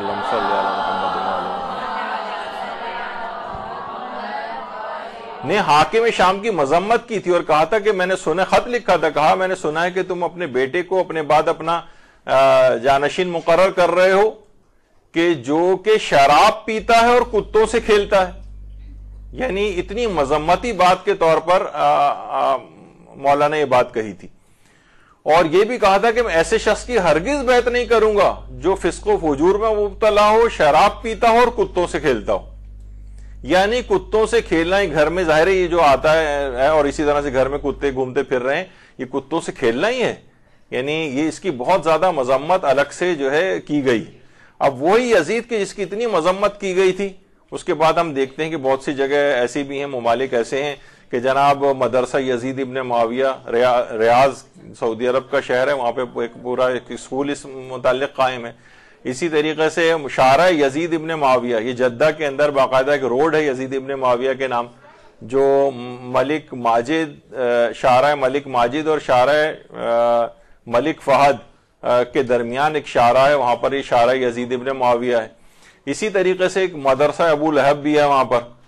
और इसी तरह से जो है शारा मुसलमा है, मुसलमा कज्जाब जिसने जाली दावा नबूत किया था। उसके नाम पे एक शारा है इसी तरीके से अबरा हबशी के जो कि खाने काबा गिराने आया था, उसके नाम पे भी एक शारा है तो ये सब चीज़ें देखिए ऐसी हैं कि बहरहाल ये इतनी मजम्मत थी यजीद की कि वो कुत्तों से खेलने की वजह से, और बहुत सी जगह ऐसी हैं कि वहाँ उसको इतना मुतबरक के उसके नाम के रोड और वो सब कुछ मदरसे भी उस नाम पर बनाए जाते हैं। तो बहरहाल खुदा की लानत हो इस शख्स के ऊपर। तो ये एक चीज़ हुई। और इसी तरीके से जब ये जंग एहजाब वाक़ हो रही थी, जंग खंदक तो उस वक्त जब अमर, उमर इबन अब्दाबाद आया था और उसने पैगंबर इस्लाम के सामने कुछ तोहिन आमिस कलेमात कहे थे तो पैगंबर ने एक जुमला कहा था कि, मन लिहाजल कल्ब, कौन है जो उस कुत्ते की जबान बंद करे? तफसीर कुम्मी के अंदर ये रिवायत है काफ़ी मुफसिल रिवायत है। इसमें पैगंबर ने जुमले कहे, यानी ये कुत्ते के, वो मैं उन अफराद के लिए कह रहा हूँ कि जो कुत्ते को बहुत वैसा जानवर उस तौर पर समझ रहे हैं कि इसको क्यों बुरा कहा जाए। यानी इसको इतने मजमूम उसमें पैगंबर अक्रम की ज़ुबान के ऊपर भी ये जुमले आए थे, कौन है जो उस कुत्ते की ज़ुबान को बंद करे? तो जहाँ पर फकत उसकी इजाज़त हो, फकत वहाँ होनी चाहिए और इसके अलावा उसको नहीं पालना चाहिए। और इसी तरीके से कहा जाता है कि जो इखलाक रजीला अभी मेरे पास इतना वक्त नहीं मरना ये वाला वाक़ भी मैं आपको बयान करता, जो ओराफा ने अपनी आँखों से देखा था कि एक जनाजा जा रहा था, जिसके ऊपर एक ही शख्स ने फकत देखा इसको, कि उसके ऊपर एक कुत्ता काले रंग का उस जनाजे के ऊपर बैठा हुआ था, और किसी को भी नज़र नहीं आ रहा था। कह रहे हैं, यहाँ तक कि उसके बाद देखा कि वो उसके जनाजे को नीचे रखा गया, और कुत्ता वैसे उसके जिसम पर रहा, जब उसका जिसम उठाने लगे तो कुत्ता साइड पे होकर बैठ गया और उसके बाद जब जिसम को रख के और कबर को बंद किया जाने लगा तो कुत्ता छलांग मार के कबर के अंदर चला गया और वो इस तरह से बंद हो गया। तो ये जो बद अखलाकी खासतौर पर कहा जाता है कि वो जब तहकीक की गई तो वो मालूम चला कि वो शख्स बहुत बद अखलाक था। यानी बद अखलाकी कुत्ते की शक्ल के अंदर मुजस्म हो जाती है और उसके बाद उसके साथ ही वो उसके आमाल बद मुजस्म होकर कब्र के अंदर जाते हैं। इसके लिए अलग से बड़ी रिवायात भी हैं। और मौत के सिलसिले की जो जो दरूस हुए थे हमारे तो उसके अंदर अमाल के मुजस्म हो जाने के ऊपर और कबर में इस तरह से आ, उनके ऊपर भी पूरी गुफ्तु आई थी। तो ये इखलाक रजीला कुत्ते की शक्ल के अंदर खासतौर पर जो बुरे अखलाक हैं ये मुजस्म हो जाते हैं और कबर के अंदर जो है वो जाते हैं। और इसी तरीके से हज़रत इमाम हुसैन अलैहिस्सलाम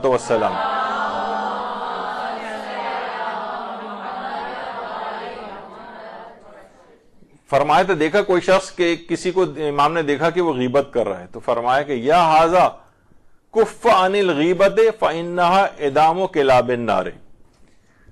अपने आप को गीबत से बचाओ, क्योंकि गीबत जहन्नुम के कुत्तों का सालन है। कुत्तों का सालन। ये रिवायत के अंदर इस तरह के जो है, वो अल्फाज कहे गए इसी तरीके से अमीरमिन सलाम ने भी जो मुले फरमाए हैं। कि गीबत से परहेज करो क्योंकि ये कुत्तों का सालन है, जहन्नुम के। और कहा कि एनोफ वो शख्स झूठ बोलता है जो ये कहता है कि मैं मैं, यानी, वलद हलाल हूँ, जबकि वो गीबत करके लोगों को गोश्त खाता है। वो झूठ बोलता है कि वो हलाल है वो। वो जो है यानी सही तरीके से पैदा हुआ है। ऐसा शख्स झूठ बोलता है, वो हलाल ज़्यादा नहीं है, जबकि वो लोगों का गीबत के ज़रिए गोश्त खाता हो। तो यहाँ पे भी इमाम ने फरमाया कि इदामों के लाबिन नार, यानी जहन्नुम के कुत्तों का सालन है गीबत को कहा गया, कुत्तों का सालन। तो यहाँ भी मजमूम तौर पर ये जुमले जो हैं वो इस्तेमाल हो रहे हैं। अच्छा फिर एक चीज़ और भी लोग कहते हैं कि जनाब रसूल अल्लाह ने क्यों फतेह मक्के के बाद कुत्तों के कत्ल का हुक्म दे दिया था? और ये तो फकत एक जानवर ही तो हैं, जिस तरह और कुछ जो बिल्लियाँ और इस तरह के होते हैं। तो पैगंबर अकरम ने फकत उन कुत्तों को मारने का हुक्म दिया था। कि जो कि उस जमाने में लोगों को मोमिन को आजार पहुँचा रहे थे, उन्हें काट रहे थे, जैसे कोई पागल कुत्ते वगैरह होते हैं। यानी कि हर तमाम कुत्ते मदीने के मार दिए ये नहीं कहा था, बल्कि कहा था यानी जो आजार पहुँचाने वाले हैं, जो नुकसान पहुँचाने वाले हैं, फकत उनको मारा जाए। क्योंकि हमारे भी यहाँ भी हैं, बहुत से कुत्ता मार मुहिमें चलती रहती हैं, आपको पता है। और मुझे खुद भी अच्छी तरीके से याद है कि तकरीबन जब वो हमारा वार्ड में पोस्टिंग वगैरह होती थी और जो इमरजेंसी में होती थी। अपनी आँखों से देखा है कि सिर्फ़ सिविल हॉस्पिटल कराची में 300 साढ़े तीन सौ पेशेंट पर डे सिर्फ़ कराची में उस जमाने की बात बता रहा हूँ, बहुत पुरानी, कि उस वक्त कुत्ते के कांटे के जो है वो आया करते थे, रोज़ाना की बुनियाद पर उस जमाने वो चौदह इंजेक्शन पेट में भी लगा करते थे बड़े बड़े अब वो थोड़े तब्दील हो गई ये चीज़ें। तो बहरहाल के आजार पहुँचाने वाले कुत्तों के मुतालिक जो है वो बात हो रही वरना इस्लाम खुद कुत्तों के हकूक का भी बहुत ये नहीं कि हाँ, जो भी कुत्ता मिले जहाँ कुत्ता नज़र आए उसको पत्थर उठा के मारा जाए जैसे कि आमतौर पर लोग करते हैं। कुत्तों के भी हकूक हैं। अभी तो आपको अंदाज़ा होगा मसला हमारे यहाँ एक बहस है अगर पानी किसी के पास बहुत कम हो और आपको वज़ू करना हो वज़ू ही हो सकता है या कुत्ते कुत्ता प्यासा है वो भी मारा जा रहा है बिल्कुल। तो अब हम वज़ू करें या कुत्ते को पानी पिलाएँ? तो साहिब जवाहिर ने पूरी एक बहस लिखी है जवाहिरुल कलाम के अंदर और कहा कि उस वक्त आप तयम कर लें और उस प्यासे कुत्ते को पानी पिला दें। ये है कुत्ते के हकूक। यानी ये नहीं कि इस्लाम ने जो है वो यानी सब चीज़ों के अहकाम है। इस्लाम ने तो किस अभी आपको अंदाज़ा होगा। मसलन एक बहस है हमारे यहाँ कि हलाल गोश्त जानवर भी शदीद प्यासा और मर रहा और कुत्ता भी प्यासा हो। अब इतना ही पानी हो कि कोई किसी एक शख्स एक को पानी पिलाया जा सकता है। मसलन बकरी भी उतनी प्यासी है कुत्ता भी उतना ही प्यासा है वरना दोनों मर जाएँगे और पानी एक ही को पिलाने का है। तो बाकायदा शहीद सानी ने मस, इफाम के अंदर आ, ये बहस की है। और कहा कि फिर उस मौके पर क्या किया जाए? हमारा दिमाग तो ये कहते हैं, भाई हलाल गोश्त जानवर को, बकरी को बचा लो, कुत्ते को मर जाने दो। वो कहते हैं कि हलाल गोश्त जानवर को तो एक जहाँ बलब हो तो उसका एक फ़ायदा, एक ये भी हो सकता है मसरफ कि आप उसको जिबा करके खा लें। लेकिन कुत्ते को तो जिबा करके भी नहीं खाया जा सकता। इसका मतलब यह हुआ कि कुत्ते को पानी पिला के उसकी जान बचा लो और ये बकरी जो है इसको जिबा करके इसको मसरफ में ले आओ। तो ये नहीं, इस्लाम ने तो देखिए, इस हद तक कुत्ते के मुतालिक जो है वो बातें कही हैं। और यहाँ पर भी मुसला करने से भी परहेज कहा गया यानी कुत्ता अगर मरा हुआ कहीं पड़ा है या कुत्ते को मार दिया जाए तो उसके जिस्म के या कान ना आँख उसके टुकड़े करना और बाकायदा बिस्तर शहादत पे हज़रत अमीर मोमिन सलाम ने जो वसीयतें की थी।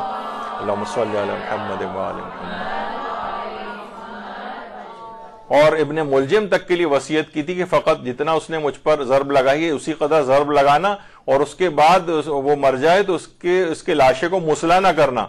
यानी उसके हाथ, पाँव, कान वगैरह इस तरह से ना काटना, नाक वगैरह, क्योंकि मैंने तुम्हारे जद से ही बात सुनी है पैगंबर अक्रम ये बात इर्शाद फरमाते थे कि अगर फाड़ खाने वाला कुत्ता भी अगर मौजूद है तो उसके लाशे को भी मुसला ना किया जाए। यानी कुत्ते के लाशे को भी चीर फाड़ ना की जाए, यानी उसके मरने के बाद भी इस कदर उसके हकूक रहते हैं। और कुत्ते पर रहम करना खुद सीरत इमाम हसन सलाम थी कि एक दफ़ा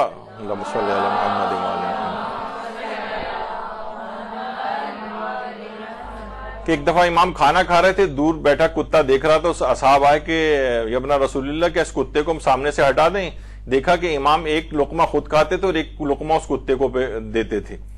तो लोग आए तो इमाम ने मना कर दिया कहा कि मुझे ये बात पसंद नहीं कि खुदा की एक मखलूक सामने खा, मैं खाना खाता रहा और वो मुझे देखती रहे। तो इस हद तक कि एक लुकमा खुद खाते थे और एक लुकमा उस कुत्ते को पेश कर देते थे।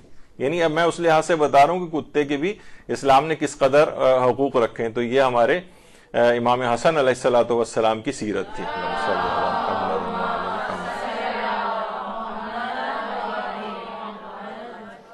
अच्छा हदीस महराज है। उसमें भी कुत्ते पर रहम करने की एक फजीलत पैगंबर जब आसमानों के सफ़र पर इस तरह से गए थे तो उस रिवायत को भी अल मबसूद में शेख तूसी ने लिखा है कि एक बहुत ही गुनागार और बदकार औरत थी। उसको फकत इस वजह से माफ़ी दे दी गई थी कि उसने कुत्ते के ऊपर रहम किया था और उसकी जान बचाई थी। यानी उस बदकार औरत के भी तमाम गुनाह माफ़ कर दिए गए थे, फकत खुदा की इस मखलूक के ऊपर मसन वो करने के लिए, रहम करने के लिए। लेकिन यहाँ पर क्या होता है कि जनाब लतीफ़े भी इस सिलसिले में बनाए जाते हैं। एक शौहर अपनी बीवी से कहता है, बेगम, जरा जल्दी से मुझे दोपहर का खाना दे दो, मुझे कुत्तों की दौड़ में जाना है। तो बेगम कहती है चल, आपसे जाता नहीं है तो दौड़ कैसे लगाएँगे? तो इस तरह से भी बहुत सारे यहाँ पर इसके जो लतीफ़े उस लिहाज से बनाए जाते हैं। अलबत् कुत्ता पैदा कैसे हुआ था, इसकी पैदाइश की भी एक रिवायत है। इसकी पैदाइश की एक रिवायत है, जो नजहतुल मजालिस में, व मुंतखब नफ़ाइस में अल्लामा सफूरी, जो सुन्नत में से गुजरे, उन्होंने अपनी किताब में लिखी है, हमारी भी उसमें आई है, कि जिस वक्त अल्लाह ने हज़रत आदम का वो पुतला बनाया था, अब इसमें रूह नहीं फूकी थी तो इबलीस को जब, यानी जब फरिश्तों को हुक्म हुआ कि सिजदा करो तो इबलीस ने नफरत से अपने मुँह का लुआब जो है वो हज़रत आदम के ऊपर फेंका, यानी थूका माजल्ला वो उनके पुतले में उस जगह पे जाकर गिरा कि जो कि जो पेट का हिस्सा था। तो अल्लाह ने उस लुआब को वहाँ से उठा लिया। तो यही वजह है कि नाफ की वो जगह खाली रह गई यहाँ पर और वो फिर खिलकत में बाद में उनकी नस्ल में भी आई। और उस जगह जहाँ से वो मिट्टी उठाई थी, उससे कुत्ते की खिलकत की। तो लमा सुन्नत भी कहते हैं, रिवायतों में भी ये बात आई है नजरतुल मजालिस में भी है उनकी किताब में। अलबत् बगैर सनत की है, अक्सर उलमा सुन्नत इसको तस्लीम नहीं करते हैं, लेकिन बहरहाल उनकी किताबों में ये आई है। तो उससे जब भी कहा जाता है, कुत्ता जो इंसान से मानूस होता है, उसकी वजह यही है कि वो इस तरह से जिस्म के ही एक उस हिस्से से, लेकिन अलबत्ता शैतान का थूक जो है, जब भी कहा जाता है कि इसके अंदर जो वफादारी है हो आदम की हवाले से है, और जो उसकी नजासत है, वो शैतान के उस लुआब और थूक की वजह से। तो बहरहाल ये एक रिवायत है जो उनकी किताबों के अंदर आई है। हमारी भी किताबों में इलाशराय के अंदर ये वाली रिवायत मौजूद है, यानी इस अंदाज की। मुकम्मल तो वैसे नहीं है, थोड़े से फ़र्क हैं अल्फाज के, लेकिन उसमें भी है कि इसकी खिलकत इबलीस के उस थूक की वजह से हुई है। अलबत्त इसकी रिवायतों की तहकीक में भी बिहार में भी ये रिवायत आई है। कुछ में इस तरह के जो कुत्तों की खिलकत जिनों से करार दी गई है कि जिनों की से ये जो है वो खल हुए हैं इस तरह की रिवायात भी बहरहाल इस सिलसिले में आई हैं जो कि उनकी रिवायात का उस एतबार से एतबार का उलमा की बहस रहती है कि सनत के एतबार से वो रिवायत कैसी अच्छा अलबत्त एक चीज़ और भी है जो कि रिवायतों में आई है कि कुत्ता ज़्यादा बेहतर है या बेनमाजी? तो जाम अखबार की पहली जिल्द के जिल्द के अंदर एक रिवायत है कि पैगंबर अक्रम सल्लल्लाहु वसलम ने फरमाया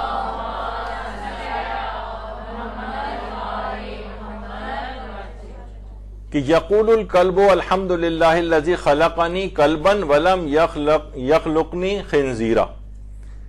पैगंबर फरमाते हैं कि कुत्ता ये कहता है कि उस खुदा की हमद है कि जिसने मुझे कुत्ता बनाया है, लेकिन खनजीर नहीं बनाया है। और खनजीर ये कहता है कि उस खुदा की हमद है जिसने मुझे खनजीर बनाया है, काफिर नहीं बनाया है। और काफिर ये कहता है कि खुद उस खुदा की हमद है कि जिसने मुझे काफिर बनाया है, लेकिन मुनाफिक नहीं बनाया है। और मुनाफिक ये कहता है कि यकूल अलहमदुल्लाजी खलकनी मुनाफिकन वलम यखलुकनी तारिक सलात। खुदा का शुक्र है कि जिसने मुझे मुनाफिक बनाया है, लेकिन नमाज़ तर्क करने वाला नहीं बनाया। तो ये नमाज़ को तर्क करने के सिलसिले में भी कितनी खौफनाक रिवायत है कि जो लोग अफराद नमाज़ नहीं पढ़ते, उनको ये वाली रिवायत सुनानी चाहिए। जो जामुल अखबार में शेख सदूक ने पहली जिल्द के अंदर ये वाली रिवायत लिखी है कि कुत्ता ये कहता है कि खुदा की हमद जिसने मुझे खंजीर नहीं बनाया है कुत्ता ही बनाया और खंजीर ये कहता है कि कि मुझे खंजीर बनाया है काफिर नहीं बनाया काफिर कहता है कि खुदा की हमद जिसने मुझे काफिर बनाया मुनाफिक नहीं बनाया मुनाफिक ये कहता है खुदा का शुक्र है मैं मुनाफिक हूँ लेकिन तारिक सलात नहीं नहीं बनाया। तो ये उस लिहाज से काफ़ी रिवायात के अंदर ये आई है और जा, अखबार तक के अंदर। तो इसमें भी कुत्ते का ये इस अंदाज का तस्करा जो आया। अच्छा इसमें एक चीज़ और भी आती है लोग कहते हैं, जब ये कुत्ता इतना नजिस जानवर है तो इस तरह के नाम क्यों रखे जाते हैं? कल्ब सादिक हमारे कालिम दीन जिनका हाल ही में कुछ दिन पहले इंतकाल हुआ, उन्हीं के भाई कल्ब आबिद साहब हुआ करते थे, और आज भी उनके एक भाई कल्ब जवाद साहब हैं, जो कि हयात हैं, बाकी दो दो ये लोग इंतकाल कर चुके हैं। तो ये क्यों आखिर इनका नाम इस इस तरह से क्यों है? बहुत से लोग एतराज़ भी करते हैं कि भाई कुत्ता तो नजीस है, अल्लाह ने आपको अशरफुल मखलूक़ात बनाया, आपने नाम के साथ कल्ब लगाया हुआ है। बहुत से लोग इन्हें कल्ब सादिक लिखते थे तो कल्ब नहीं है, वो कल्ब सादिक ही है। कल्ब कल्ब कुत्ते को कहते हैं, यानी उनके दर का कुत्ता सादिक, इमाम जाफ़र सादिक सलाम की खैर। तो देखिए, ये चीज़ें जो हैं, ये कुत्ता असल में एक तजल्लुल और आजजी और इनकसारी का एक इस्तारा भी जिस तरीके से शेर को कहा जाता है, शेर जो है वो बहादुरी का एक इस्तारा है। अब देखा जाए तो शेर भी एक जानवर है, फाड़ खाने वाला दरिंदा है, और उसका, जो जबी है, वो भी हराम है, खा भी नहीं सकते उसको। और बहरहाल एक जानवर, लोग कहेंगे, आपको खुदा ने अशरफुल मखलूकत बनाए, शेर है भी तो बहादुरी क्या हुआ? अब तो खैर उसकी बहादुरी सब आ भी चुकी है। नेशनल जियोग्राफिक वगैरह के ऊपर वो दो चार भी उसको, पे हाइनाज भी अगर हमला करते हैं तो कैसा डर के मारे भागता है, और हमेशा पीछे से जाके पकड़ता है वो बुजिलों के तरीके से। तो बहरहाल तो ये जो है, वो जानवर ही तो है वो, लेकिन उसके बावजूद आप कहते हैं, बल्कि अमीरुल मोमिन का लकब शेर खुदा है। तो शेर कौन सा वाला शेर? यही वाला शेर, यानी यानी शेर से तशबी उसकी, बहादुरी की बिना पर तशबी उसकी दी गई। तो यहाँ कुत्ते से मुराद, वो जानवर मुराद नहीं है, बल्कि आजी इनकसारी और तजल्लुल का एक इस्तारा है, जो कि बिल्कुल सही है। यही वजह है कि जैसे कि Ayatollah Sayyid Jawad Alavi Borujerdi, ये आयतुल्ला हुसैन बुरुजर्दी के नवासे इन्होंने खुद एक वाक़ अपने उसके अंदर सुनाया था कि शेख तूसी का जब इंतकाल हो रहा था तो काजमैन में दोनों आइम्मा के हरम में, में उनके दरवाजे के पास ही जो है ये दफन है शेख तूसी नसीरुद्दीन तूसी। तो लोगों ने कहा आपका इंतकाल होने वाला आपका नाम इसके ऊपर लिखवाना है। तो उन्होंने कहा हरगिज मेरा नाम नहीं लिखना मुझे शर्म महसूस होती है। कि इमाम, दोनों आइम्मा के कबूर पे तो उनके नाम नहीं है, मेरा नाम लिखा जाएगा मेरी कब्र पर। अगर तुमको लिखवाना ही है, लिखना ही है कुछ तो कुरान की ये आयत लिख देना व कल बहुम बासतुन जरा है बिल वसीद गार के दहाने पर उनका कुत्ता पाँव फैलाए बैठा है। यानी अपने आप को कुत्ते से तशबी दी कि इमाम के हरम के सामने दरवाजे पर मैं मैं कुत्ते से अपने आप को तशबी दी तो ये भी वही इजहार तजल्जुल, तजल्लुल और आजजी के तौर पर जो है, ये बात जो है, वो कही गई। और यही नसीरुद्दीन तूसी थे, लोग कह रहे थे कि जब आपका इंतकाल हो जाएगा तो आप कहें तो हम आपको नजफ में हज़रत अमीर के रोज़े में दफन कर दें। तो इन्होंने मना कर दिया कि मुझे शर्म महसूस होती है कि मैं काजमैन में दो आइमा मौजूद हैं और मैं इन, इस जगह को छोड़कर और अमीर मोमिन के वहाँ दफन होने के लिए जाऊँ। मैं गवारा नहीं कर सकता, मुझे यहाँ से हरगिज नहीं ले जाना और यहीं दफन करना। तो बहरहाल ये शेख नसूरुद्दीन तूसी इनकी खबर है वहाँ पर और उसके ऊपर ये वाले जो कुरान की आयत थी कि गार के दहाने पर कुत्ता पाँव फैला के बैठा हुआ, ये इनकी खबर के ऊपर लिखवाई गई, उनकी वसीयत के मुताबिक।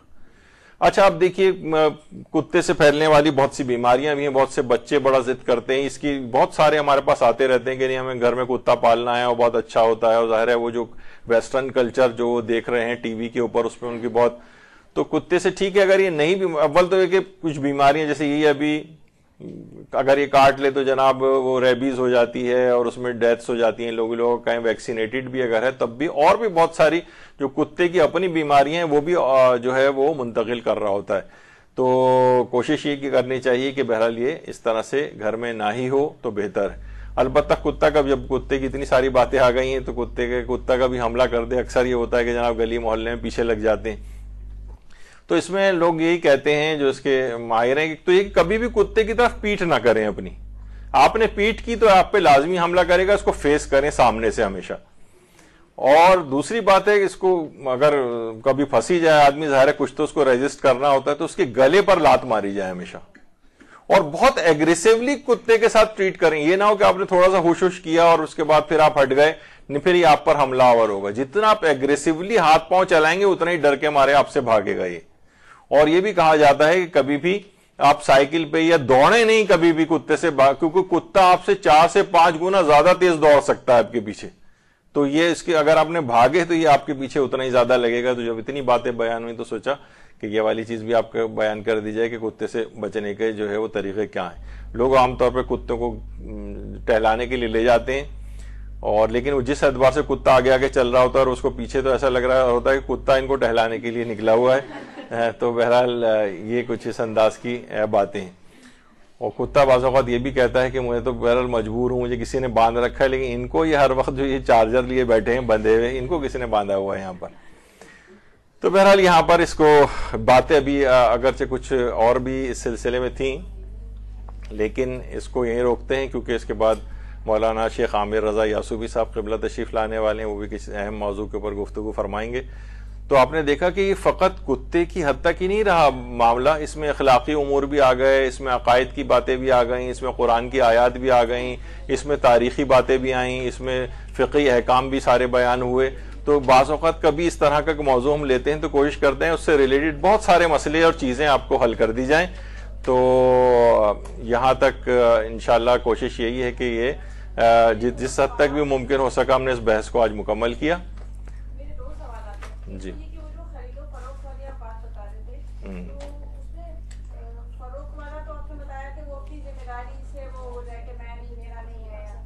तो जी।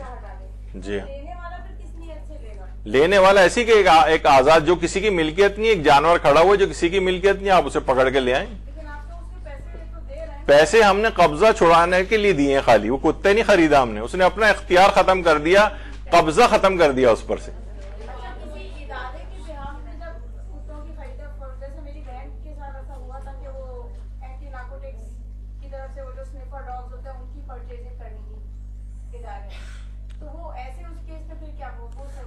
नहीं, वो भी सही नहीं है। उसमें अगर आप वास्ता और वसीला उस लिहाज से बन रहे हैं विकालत भी इसमें नहीं हो सकती है। हाँ अलबत्ता यही है कि आप उसको समझा दें, भाई हम इस तरह से यानी अगर उनको समझा दिया जाए कि, भाई हम इस तरह से इसको खरीदेंगे तो उनको भी कोई अर्ज़ नहीं कहेंगे ठीक है, हम ये नियत कर लेते हैं अपना कब्जा हटा रहे हैं।